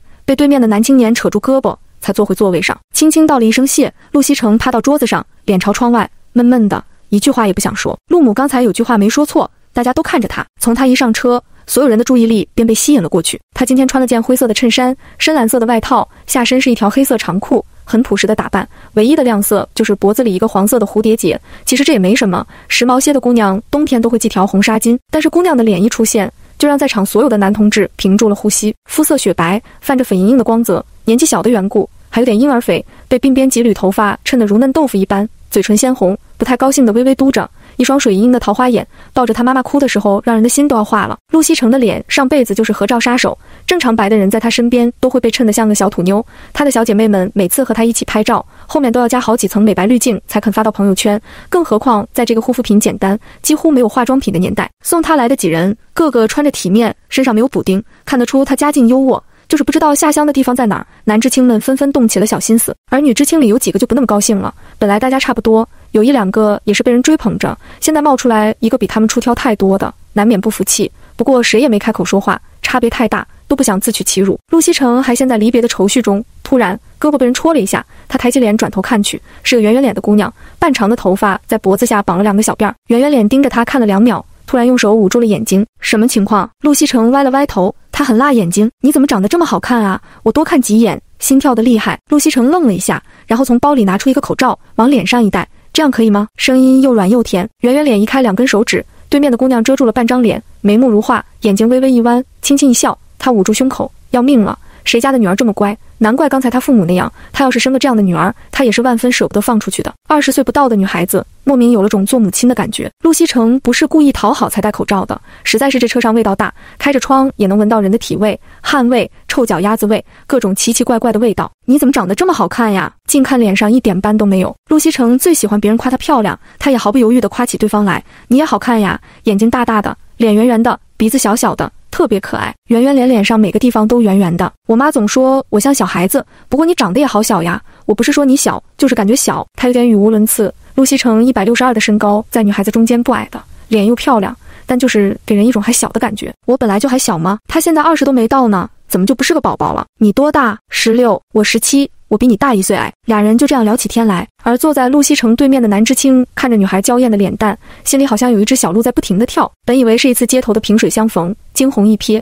谁知他竟然能在下乡的火车上再次遇到她。徐静航开始对这次插队期待起来。早知如此，他肯定要查查对方去哪里。现在来不及了，希望他们有缘被安排在一个地方。徐哥，你发什么呆？打个招呼啊！对面坐了这么漂亮一姑娘，他徐哥居然在发呆。张佳宁不懂，两位女同志，你们好，我叫张佳宁。这位是我的好兄弟徐进航，我们是京城人，今年刚来沪市，所以从沪市下乡的。张佳宁落落大方的自我介绍：你们好，我叫林媛，我来自江省。陆西城又笑弯了眼。他们两个人聊了半天都没问对方叫什么，没想到这姑娘名字也圆圆的。我叫陆西城，来自沪市。哪几个字？问话的是叫徐进航的男青年，脸上带着笑容，一口洁白的牙齿，有点像后世那些校园男神，阳光帅气，应该是那种家境不错。自身教养也挺好的男生，而他旁边叫张佳宁的男生长相更加有亲和力一些，短下巴显得稚气。大陆的陆，东南西北的西，橙子的橙。陆西城只看了一眼就移开了视线。他上辈子见过的帅哥太多了，成年后追求他的什么高富帅、科技新贵、行业精英，就没有长得丑的。他妈妈后来涉足娱乐行业，明星他也见过不少。哇，橙子！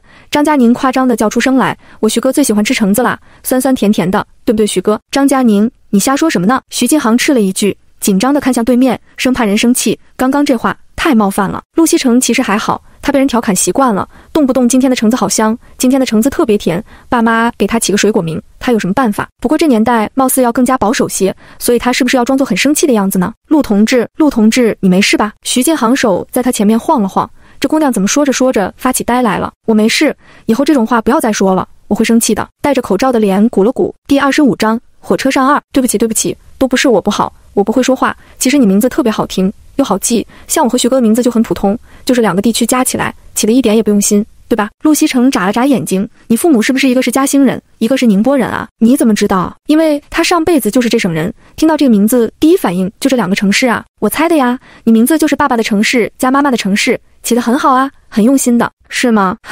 你这样一说。好像我的名字是挺好听的哦。张佳宁摸摸后脑勺，笑得憨憨的。他爸爸的城市加妈妈的城市是蛮有意义的。哇，程程你好聪明啊！你快猜猜我为什么叫圆圆？林媛兴奋地在一旁说道：“太有意思了，居然能猜到别人为什么起这个名字。”呃，不是因为你脸圆，脸圆圆叫圆圆，当然不是。小时候脸都是圆的呀，因为我还有个哥哥叫林峰，我哥哥的脸也是圆的哦，一点都不方。陆西城十点上的火车，很快就到了中午。陆西城是不禁饿的，他打开陆父，最后塞给他的大纸袋子，五个大包子，几块炸甜糕，居然还有两块巴掌大的虎皮蛋糕哦。对了，饭盒里还有几个鸡蛋。这趟火车要坐三天两夜，他打算趁着没人看到的时候把食物放进空间里，要不等明天都坏了。幸好他位置靠窗，可以做点小动作。取出一个包子，咬了一口，虽然冷了，但里面的肉汁还是流了出来。陆西城把汁水吸出来，肉包子的香味瞬间弥漫开来。大部分的知青条件都一般，别说肉包子了，白面馒头一个月也吃不到几次。闻着这股味道。疯狂地吞咽口水，不过大部分的人都要脸，只默默拿出自己准备的干粮啃。陆西城胃口小，吃了一个包子就饱了，看了眼旁边啃馒头的林媛，塞给他一个，我吃不完，给你吃一个，你不留着晚上吃吗？林媛虽然很馋，但那是肉包子啊，家里都难得吃到的东西，他怎么好意思要？我还有呢，吃不完就坏掉了啊，坏掉就太可惜了。林媛想了想，从包里翻找一阵，拿出一个袋子递给他，那我请你吃红薯干，我妈做的红薯干特别甜。好啊。我们换着吃。陆西城又塞给他一块炸甜糕。徐静航和张佳宁也带了包子，不过张佳宁的是豆沙馅的。两个人交换着吃了一整节车厢，他们这个位置伙食是最好的。程程，你你还有包子吗？一个细细的声音响起。陆西城扭头一看，是刘小草。你们认识呀？林媛好奇问道。认识，怎么没坐一块？对面俩男知青也看着他们。陆西城撇过头，不熟。刘小草局促地扭着手。我和程程是从小一起长大的好朋友，可是最近。不知道是不是我哪里做的不好，程程不理我了。可是我爸爸叮嘱我要好好照顾程程的。程程，你别生我的气了。简单几句话就把陆西城描述成一个骄纵不讲理的人。哦，照顾我，你要怎么照顾我？陆西城饶有兴趣地问道。我我。陆西城站起来，居高临下地看着他。他虽然人不太高，身材比例却极好，肩膀平直，脖颈修长，手虚扶着小餐桌，莫名的妩媚。也气势凌人，帮我拿行李，你自己三个包，还想让我哥、我爸给你搬呢？帮我下地干活。陆西城好笑的伸手比划了两个人的身高，比他矮半个头呢，又瘦又小，眼神能说明一切。刘小草绝对不像能干活的，照顾我，所以来跟我要包子吃；照顾我，所以穿着我送的衣服裤子，戴着我送的发卡，还在人前给我上眼药。那我可真是谢谢你了。陆西城说完，气哼哼坐下。他从小被宠爱，身边的人只有惯着他、让着他的，他哪会和人吵架呀？第一次发挥不太行。刘小草怎么也没想到包子没要到，还挨了一顿骂，脸涨得通红，想解释一时没词，只得灰溜溜回座位上。程程，你别生气了，这种人就是觉得你好说话，得寸进尺呢。林渊安慰他，他真替他不值，衣服发卡都能送给对方，肯定是把人当好朋友，结果是个白眼狼。徐建航心疼地看着女孩子泛红的眼眶，真是太善良了。吵了架。却还在为这段友谊难过。他哪里知道陆西城只是因为不会骂人、不会吵架和自己生气呢？下午车厢里渐渐安静下来。陆西城起了个大早，这会困得不行，靠着墙壁睡觉。火车开开停停，不断有人上来。陆西城迷迷糊糊睁开眼睛，阳光从西边斜斜照射进来，身上暖融融的。嗯，圆圆，几点了？刚刚报了时间，四点了。你醒了？怎么睡这么久？陆西城揉揉脖子，好疼啊。肚子也好饿了。这时，不远处传来几个女孩子的说笑声。哇，安宁，你这条裙子太好看了吧？领口还有花边呢，好贵的吧？肯定很贵呀。的确凉的呢，摸起来好滑呀。我妈说一尺布要八毛钱，必须要布票才给买。安宁这一身起码要五六尺布吧？那不是要五块钱？我爸好几天工资了。没有啦，我也就做了两件而已。叫安宁的女子谦虚地说道。陆西城好奇地探头看去。女孩子穿了一件红色带白点的连衣裙，领口和袖口处都有一圈白色小碎花的拼接，在这一整个车厢的土气素色中，的确是少有的鲜亮。这是刚刚一站上来的，她还穿了双小皮鞋呢。林媛和她说道：“不过我还是觉得你的鞋子好看。我妈说到了乡下还要走好长路，皮鞋不好走路吧？我妈也这么说的。”两个女孩子相视一笑。原主有四五双皮鞋，她就带了一双，反正她别墅里鞋子多的穿不完，她不差鞋。沈安宁应付着旁边人的问话，眼睛朝左侧望去，男人靠窗而坐。傍晚的阳光照在他的脸上，让他显得温柔又俊秀。十八岁的徐静航，没有二十多年后身居高位时的威严和稳重，却是他最心动的模样。男人低头，从口袋里掏出什么东西向前递去。沈安宁顺着他手臂的方向，坐在他对面脸靠里睡觉的人醒了，正和身边的说话，唇红齿白，娇俏绝伦。这是谁？上一世根本没有这样一个人出现。第二十六章，火车上三。陆西城看着面前的两颗大白兔，我妈早上硬塞给我的，我不爱吃糖，给你们吃吧。徐静航笑容温柔，哥。你怎么不问问我？我爱吃糖啊！张佳宁不满道：“他徐哥重色轻友啊，你一个大男人吃什么糖？大男人怎么就不能吃糖啊？看不起男人啊？”这话张佳宁不敢说，他看出来了，徐哥明显对这个漂亮的女知青有意思，他可不敢坏他哥的好事。陆西城却没有接，他从包里掏出一把水果糖放到桌上：“我吃这个就好了。大白兔奶糖是好吃，但这个年代的大白兔用料足。”糖做的特别大，他在家吃的时候一整颗一起吃，嘴巴里太满了，动不了，口水哗啦啦流。陆大小姐要面子的，她可不愿意在外人面前那么狼狈，挑了颗橘子味的含进嘴里。你们也吃啊？气氛一时间有些尴尬。沈安宁见状，主动过来说道：“可以给我一颗吗？”走的时候匆忙忘记带了，徐进航便把两颗大白兔都给了他。沈安宁接过糖，看了陆西城一眼，有些不屑：“长得漂亮却不会讨好男人，有什么用？真是浪费这么好看的脸蛋了。”这时候检票的乘务员过来了，检票检票了，回位置上坐好，把票拿出来。很快到了他们这里，检票的就是李同志。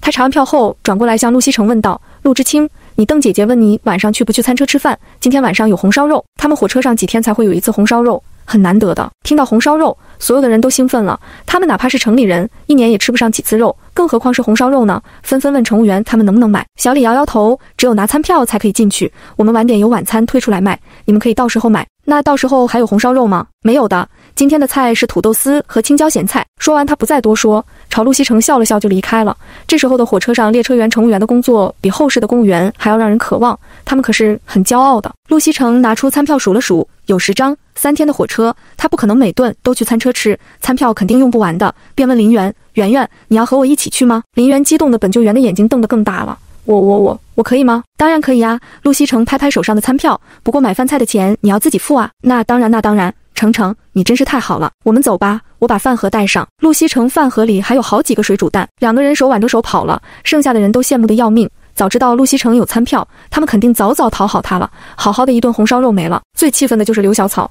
这一切本来都是他的，吃的喝的用的，陆西城只会给他，现在都被人抢走了，他如何不气？陆西成才不管别人怎么想的呢。和林媛一路来到餐车车厢，餐车车厢在卧铺车厢和普通车厢的交界处，里面非常宽敞，一张张餐桌摆放着，每张餐桌上还铺着餐布，像一个小餐厅一样。此时就两三个人在用餐。程程，你来啦。小邓一眼就看到他了。笑着朝他招手，邓姐姐，小李哥说晚上有红烧肉呢。对呀，所以我让他去叫你。你还带朋友来啦？正好两个人一份红烧肉就够了。今天还有土豆丝和番茄鸡蛋，要不要都来点？好，一共多少钱呀？陆西城拿出钱包，一共一块五毛。米饭不够可以再加，这么便宜，比国营饭店还便宜了，而且还不要票。林媛听到这个价格惊了一下，然后他看到陆西城的钱包，一个不大的钱包，估计放不下太多钱，忙伸手把他拦住。程程，这个钱我来付吧。你都出餐票了。说完，不等他反应，快速掏出一块五递了过去。小邓看看两个小姑娘，笑着接过了林媛的钱，给他们盛菜。菜是装在铝制饭盒里，三个菜，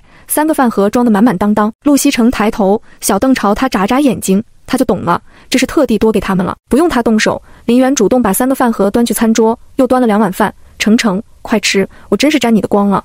要是和我妈说我在火车上吃到了红烧肉，她肯定以为我在做梦。陆西城把一个鸡蛋递给他，什么沾光啊？是你自己付钱买的呀？外头那么多人想付钱都付不出去，好吧？林媛接过鸡蛋，我也带了几个鸡蛋，不过我的吃完了，怕放坏了。火车上闷得很。对了，程程，你钱都带在身上吗？我看你钱包里钱不多，够不够花呀？不够的话，我借点给你。林媛家里就他和哥哥兄妹两人，哥哥已经工作了，爸爸也在上班。条件还不错，这次出来带了一百块钱。我妈说到了乡下用钱的地方还多着呢，像我们这种刚刚去的，干活肯定比不上老知青和村里人的，分的粮食不够吃，还要自己买。陆西城点点头，他干活也不行，我钱带够了，都藏起来了。陆母给的两百和陆奶奶给的五十还有票，她都放进了空间，钱包里就放了三十块钱零钱，那就好。快吃快吃，这个番茄鸡蛋也好好吃，肉好香，我要再去盛碗饭。他们在这边吃的欢快，他们车厢里的其他人就不舒服了。徐静航默默拿出包子，张佳宁手臂对了他一下，哥。有点难度哦，姑娘不缺钱，还有人脉，不是用几颗糖便能让人心动的。你看到了吗？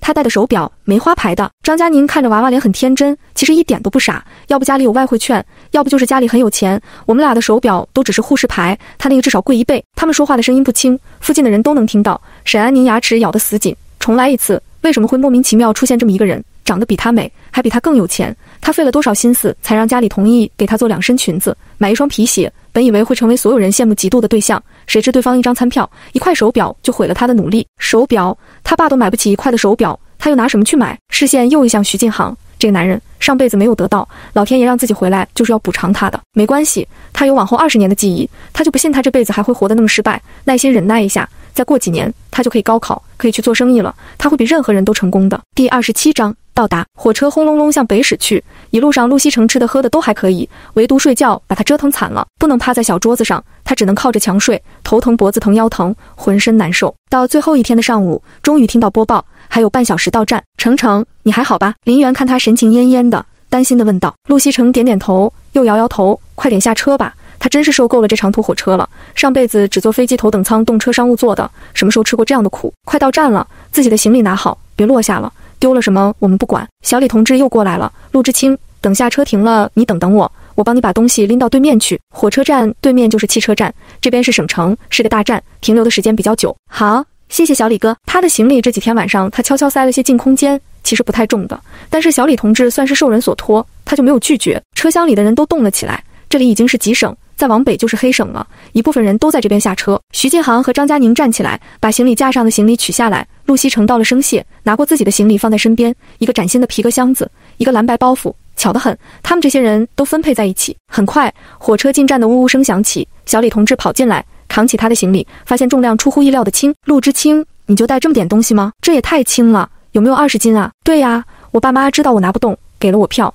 让我缺什么，到了地方再买。也是啊，你小姑娘家家的力气小，箱子也给我吧。这点东西她一个人就可以。这样，陆西城身上就一个剩两口水的水壶和一个没装多少东西的挎包。徐进航原本还想帮忙，看他这样根本用不上自己，颇为沮丧。张佳宁看着都同情他。徐知青，可以帮我拎一下吗？沈安宁不好意思地说道。他带了两个看着就很重的大包袱。其实徐进航自己的行李也不少。但人家女同志都开口了，完全不搭把手，说不过去，便和张佳宁一起帮他分担了一个，让他自己拎着一个。林远也是大包小包的，这年头其实都这样，锅碗瓢盆什么都带，不然怎么办？什么都要票。像陆西成家这样的少之又少。陆西成帮他拿了一个小的，一行人跟在小李同志身后往汽车站走去。小李拎着两个不重的行李走得飞快，陆西成抱着小包裹，穿着运动鞋，勉强能跟上，苦了后面一批人，走得气喘吁吁。沈安宁肩上扛着一个大包袱，皮鞋是新的，穿的时候感觉挺美。一走路就特别磨脚，连漂亮的连衣裙半手半脚的都变成了累赘，真可谓苦不堪言，什么形象都没有了。刘小草更惨，三个包裹，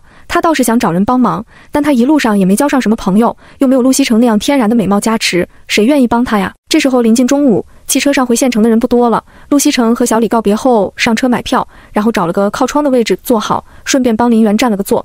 他坐了好一会儿，人才陆陆续续都上来。现在的汽车小，位置也没多少。后面上的人都只能站着，车子不开动的时候还好，开动了一股浓烈的汽油味。陆西城快速往嘴里塞了一粒薄荷糖，勉强压住想吐的冲动。坐了两个小时的汽车，到了这个叫永宁县的县城，他们还要转车去镇上公社。陆西城无数次庆幸自己东西少，还有个空间作弊，要不然他直接瘫地上不动了。到了镇上，公社负责接知青的领导已经等着了，看着这一车的娃娃，头疼的皱眉。他们公社本来就不富裕，又来这么多张嘴，可咋搞啊？不接收又不行，政治任务。还得保证他们的安全。前几年有公社爆出女知青被 QJ 的事情，整个公社从上到下脸都没了，队里的男的都娶不上媳妇，他们都是吸取了教训的，瞪了眼围在一旁的一群汉子。行啦，别苦着脸了，人都给你们分好了，都带回去好好教教。来都来了，还能赶回去不成？最前头几批知青来了后，大家伙发现这些人干活完全不行，嫌弃的不要不要的。后来只要来了知青，就开始挑挑男的，挑长得高的壮的。公社没办法，干脆给他们分好。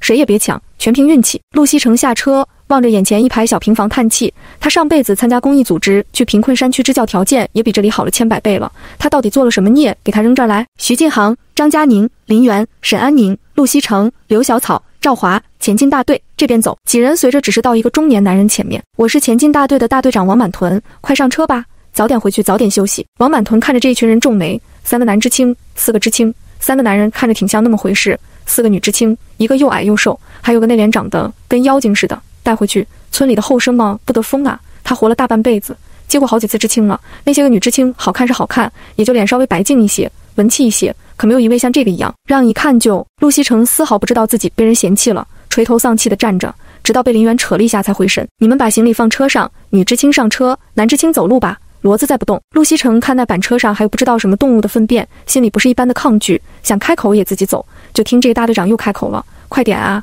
走回去两个多小时呢，回去还要收拾住的地方。两个多小时，这村子是有多偏啊？”陆西城看看自己的小脚，再看看骡车，瞬间什么脾气都没有了。呜呜，他可不可以和爸妈说他后悔下乡了，来把他接回去啊？颤颤巍巍爬上车，坐到自己的包袱上，这个包袱不他不要了。到了就把它扔掉。远处山脉浸在乳白色的雾气中，若隐若现。陆西城只觉得自己好像那被卖进山里的小媳妇，再也逃不出来了。怎一个惨字了得！第二十八章友好的村支书。陆西城坐在骡车上，看着已经走过去的蜿蜒没有尽头的小路，思绪开始乱飘。他也看过不少穿越小说，那些主角一个个混得风生水起的，各种黑市卖货，各种赚钱。换成他，他也有东西可以卖卖的。但问题是到镇上都要走两个小时，到县城更远，让他一天来回跑去卖东西，不，他绝对不干。大队长，要不我们下去走，让男同志们坐会儿吧？沈安宁突然开口了。陆西城飘远的思绪飘了回来。我们，我们是谁？沈安宁温婉地笑着。圆圆、程程、小草，对不对？我们应该发挥互相谦让的精神，大家轮流坐。他这么说，心里当然不是这么想的。这个陆西城看着就娇气得很，必然不会答应他的提议。只要有一个人不愿意，南知青肯定不好意思真的坐上来。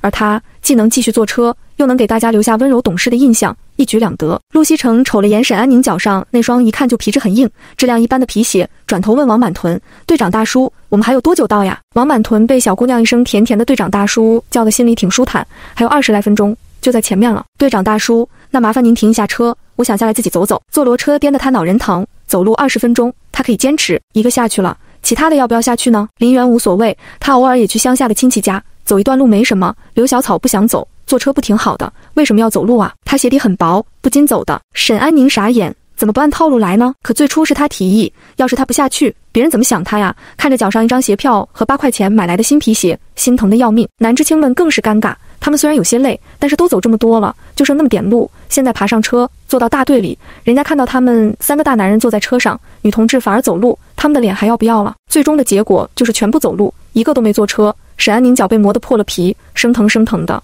什么好处没捞着，不由得埋怨陆西城。明知道他穿了皮鞋不好走，怎么就不能体谅别人呢？陆西城深吸了一口气，这乡下的空气真好啊，比上辈子去避暑的山里空气还要好。很快，他们就看到了一个个低矮的小房子。陆西城发誓，这是他两辈子第一次看到这么破的房子，土坯的，有些房子屋顶上盖着茅草，有些墙体都破损了，坑坑洼洼的。稍微好一点的就是泥砖房。他们跟着王满屯走到了一块比较齐整的小广场上。这时候正好中午时分，很多人在家吃饭，看到大队长带一群人回来，都凑过来看。他们已经见过好几批知青了，但村里没啥娱乐活动，每次有外人来，还是像看西洋景一样。你们看最边上那个女娃娃，长得也太俊俏了吧？是啊，咋这么白呢？我就没见过这么白的女娃子。你说要是下地几天，会不会和前头的知青一样啊？怪可惜的。王三根，你要是心疼，你娶回家呗。正好你没媳妇儿，娶个这么漂亮的媳妇回家，生个娃娃也好看不是？叫王三根的男人摸了摸后脑勺，俺问问俺娘，俺娘同意俺就娶。哈哈哈，美的你这样好看的女知青，咋可能看上他们这种乡下人呢？陆西城听到有人拿自己说笑，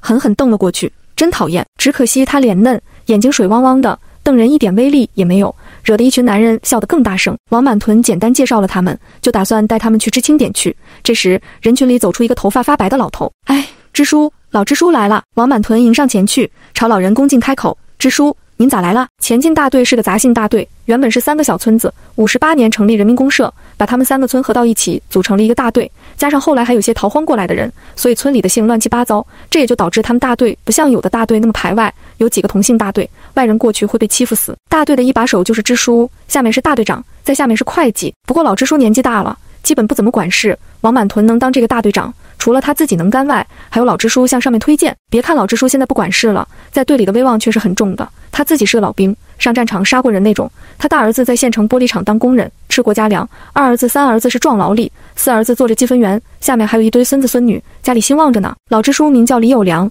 李老头拿着根烟杆子，背着手走到前头，瞪着眼打量这一群娃娃。老领导说是孙女。这四个女娃娃，哪个是老领导的孙女呢？那个又黑又黄又瘦的去掉，老领导家不会比自家吃的还差。剩下三个，嚯，这女娃娃长得真标致嘞！村里可有的热闹了。哪个女娃娃姓陆啊？姓陆。一行人齐刷刷看向陆西城，这里姓陆的就他一个。陆西城默默举起小手。老支书顿了一瞬，回忆了下老领导的长相。他老领导那么个糙黑的汉子，是怎么养出这样娇滴滴、鲜灵灵的丫头的？他家的孙女在村里算是娇养的那种，不常下地，看着也白净。但这一比较，个个都是黑妞啊！丫头。你爷爷叫陆伯君，你爹叫陆国平。陆西城点头，他猜到了，这个村支书应该就是爷爷的老战友。那就对了，丫头啊，我是你李爷爷，你爸小时候我还抱过他呢。为国为民，你俩愣着干啥？赶紧帮你们妹子把东西拿了，让你们媳妇跟去知青点帮着收拾收拾。转头又对陆西城笑着说道：“丫头啊，你先去知青点安顿好，晚上来爷爷家吃饭。”好。谢谢李爷爷，陆西城乖巧答应。其余人看到这一幕都惊呆了。陆知青在火车上有人关照也就算了，怎么到了这么偏的乡下还有人认识的人？他家里到底给他打点了多少关系？人比人气死人。第二十九章选择住所。李卫国和李卫民的表情仿佛被雷劈过，前几日就听爷爷念叨说，他老领导的晚辈要下乡了，他要多照顾照顾人家。可他老人家没说，这下乡的是个女同志，长得还这么……他俩是结了婚的，并不敢多看人小姑娘。和媳妇打了招呼后，就拎着陆西城那可怜的行李，埋头在前面走，让自个儿媳妇陪着小姑娘去知青点的路上，几人都没说话。好在知青点很近。很快就到了知青点，在一个大院子里。王满屯率先走进去，院子里站了十几个人，或坐或站。王满屯先是看了老知青们一眼，又看看他们这些新人，才犹豫着开口：“是这样的，现在这里两间屋子，男知青住了八个，女知青住了六个，每间屋子还能挤得下几个人。不过后院还有几间房，本来呢是养猪的猪棚，但是猪没养成，今年给新砌了炕。要是想住的话，一间屋子要交十块钱。”王满屯无奈。他根本不想收钱，但是相邻的几个大队都多少收了些。那些大队的知青知道他们这里没收，纷纷去闹，搞得他不上不下的。后来公社领导找他，让他再安排个地方，总有愿意交钱的，也算是个交代了。谁想住都行，要一次性交够十块钱。陆西城马上举手提问：“大队长，是一个人住一间吗？一个人交十块就可以一个人住一间？那我要一间。”陆西城马上说道：“他习惯了自己住，而且他还有秘密，能有个单间最好。我也要一间。”林元跟着说道。十块钱他能负担，是一次性交十块，还是每年交十块钱啊？一次性十块钱，每年十块钱，他成什么人了？他们乡下一家人一年也就攒几十块钱。王满屯心想，徐进航和张佳宁两个人共同要了一间，这俩人看着条件挺好的呀，非要住一起，肯定是哥俩好。陆西城猜测，没太在意，别人的事和他无关。沈安宁站在原地，脸色难看。他一共就剩三十块，要是花了十块，那他就只有二十块了。上辈子除了徐进航和张佳宁。其他人都是住集体宿舍，那时候他还觉得没啥。女同志胆子小，不敢一个人住，集体宿舍热闹都是理由。可这一世居然有两个女知青单住，那他这个没钱单住的就显出窘迫来了。他可怜兮兮地看向徐静航，上辈子听说徐静航身上带了有两百块，不知道能不能借他十块钱。徐静航看到了他的眼神，又转头看陆西城，后者正在河边上两个嫂子大眼瞪小眼，压根没关注他这边。喜欢的女孩子对他这么视若无睹，让他有些难堪。想了想，从口袋里摸出十块钱，塞给了沈安宁。他妈说过，女孩子有时候需要有危机感，她们才会更上心。不管有没有用，先试试吧。沈安宁激动得快哭了，不一样了，真的不一样了。上辈子他没有借自己钱，这辈子却主动给了他。陆西城长得再好看又有什么用？她才是那个什么天选之女，没错。这下他们这些人里，只有叫赵华的南知青和刘小草两个人没有选择交钱。赵华无所谓，他条件一般，住集体宿舍挺好。刘小草脚边三大包行李，眼睛恨不得把陆西城瞪出个窟窿来。陆西城他以前不会这么对他的，他早就主动帮自己交钱了。现在到底是怎么回事？他妈说了，让他多从陆西城身上弄点钱回去。这个样子，他还怎么弄？不行，他得想个办法才行。分配好了住处，王满屯带着他们去后院。陆西城脑子里只有两个字。猪棚！天哪，他居然要住猪棚！他爷爷奶奶、外公外婆知道了肯定要哭。他们的心肝小公主要住猪棚了，苦着脸走到一排房子前，一排六间，每间大小相同。陆西城探头看向其中一间，好黑，好可怕！一间屋子面积大概在七八个平方左右，里面一个大炕就占了一半的面积，剩下就一个过道，除此之外什么东西都没有。你们放心住着，这个屋子比我们队上好多人家的房子都结实呢。建的时候用了一点青砖，怕猪跑了。王满屯得意地说道：“好了，你们自个收拾吧。”有什么不懂的，去前头问老知青。说完便出去了。现在算是农忙，他还要监督人干活呢。在他们说话的功夫，李卫国和李卫民把行李放下，早回家拿东西去了。看这位陆知青的样子，就知道啥也没准备。簸箕、扫把、抹布、脸盆、水桶等都带了过来。因为屋子里没啥东西，收拾起来也简单。两个男人和他们的媳妇，扫地的扫地，擦灰尘的擦灰尘。陆西城完全插不上手。他打开自己的箱子，拿出陆母给他准备的旧报纸，厚厚一叠。那个。怎么称呼呢？这两位小哥谁大谁小？李大哥、李二哥、李卫国，我是老三；李卫民，我是老四；李三哥、李四哥，我想墙上贴些报纸，墙面是黄泥抹的，手摸上去一层灰。两人又动作利索地帮他贴报纸。陆西城抓出一把奶糖来给分别两个嫂子，三嫂、四嫂，这些糖你们拿着吃。外婆说过，如果请不相干的有主的男人帮忙做了什么事情，感谢要感谢人家的女朋友或者老婆。三嫂王桂枝，四嫂周小红惊喜地看着手里的糖果，大白兔。真的是大白兔，他们婆家已经算是村里数一数二的殷实人家了，可也买不起大白兔啊。大伯哥发了糖票，也只会买点白糖、红糖泡糖水喝。大白兔再了不起，就是给家里的小孩一点水果糖，也就过年的时候买。一开始被叫过来帮忙，两人都有些不情愿，耽误小半天功夫，少好几个公分呢。只是迫于老爷子的威信，不敢说什么。现在得了这大白兔，两人啥意见都没了，乐得眉开眼笑，对待陆西城瞬间亲热了起来。有人帮忙就是快。其他人还在扫地擦灰呢，他已经差不多好了。陆西城看着光秃秃的窗户问道：“我这个窗怎么办呀？就一个方方正正的洞加两根木头竖着，是不是还没做好啊？怎么关窗？”他干什么别人都能看见了，简单，晚上睡觉拿一把稻草堵住就行了。我们都是这样的。李卫国笑着说道：“最多加个窗框，不加也能凑合，是吗？这样是不是太没有安全感了？”陆西城陷入忧伤中，真是个小破屋子。他是住在小破屋子里的小猪猪。第三十章，倒霉的陆之清，几人给他弄好了，就匆忙走了，给他留了两桶水在屋子里。王桂枝握着陆西城的手：“陆之清，你自己擦洗擦洗，嫂子先走了，晚上别忘了来家里吃饭。他们还要下地去。”哎呦，这陆之清的手可真嫩啊，可不得好好洗洗吗？陆西城在火车上那么多天，除了趁着上厕所的几分钟进入别墅用湿巾给自己擦了擦，他都没有洗过一次澡。陆西城觉得整个人都馊掉了，臭臭的。拿报纸勉勉强强把窗户挡住，和隔壁林园打了声招呼，他锁上门就快速到了别墅的大浴室，放水，放精油球。陆西城坐进浴缸里，舒舒服服地泡了一个香喷喷的澡，洗完出来。全身滑溜溜，看着镜子里唇红齿白、脸嫩的不像话的少女，陆西城眨眨眼。穿越大神不算太坑人，好歹没让她变成一个没牙老太太。不耐烦，用吹风机随便擦了擦头发。陆西城出了别墅，回到小破屋，家徒四壁呀。他把剩余的报纸铺到炕上，再把不用的旧床单铺上去，然后打开自己的包袱，找出陆母准备的被褥铺到最上面，上去坐了坐。炕是用泥砖砌的，很硬，和陆家的床崩子根本不能比，更别提他别墅里的高床软枕。陆西城想了想。去别墅抱了个棉花胎，又铺了一层，把床单铺好。陆西城又拿出同色的被套枕套，他没有用陆母准备的，这年头的被子要自己缝的。下面铺被里，把棉胎放上去，再把背面缝上去。木母教了他几次，但对于陆西城这个上辈子连针都没拿过一次的人来说，难度系数实在是有些高，学不会，索性拿了自己的被套直接套。即便如此，他这个四体不勤的人也还是累出了一身汗。炕是贴着墙壁砌的，贴了就报纸。陆西城还是担心会有灰尘落下来，站上去试了试高度，他人矮。够不到顶，最好在房顶钉几个钉子，挂一层床罩。陆西城叹口气，先将进一下吧。看看时间，下午两点了。他去别墅煎了块牛排，打了杯红豆牛乳，美美的吃完，趴在自己新的床上，不一会儿就睡着了。路上太累，陆西城这一觉睡得特别沉。林渊跑过来找了他两次，他都没醒，直接睡到了五点多，才迷迷糊糊睁开眼，换上衣服，梳好辫子。陆西城打开门，他穿了件鹅黄色的连衣裙。九月份东北的傍晚，夕阳西下。不比白天，空气中有明显的凉意。陆西城回屋，又找了件白色的针织外套穿上，然后打开自己的小皮箱。出门做客不能空着手去，总要带点什么。他在箱子里翻了翻，突然翻出一条香烟。咦，这是什么时候放进去的？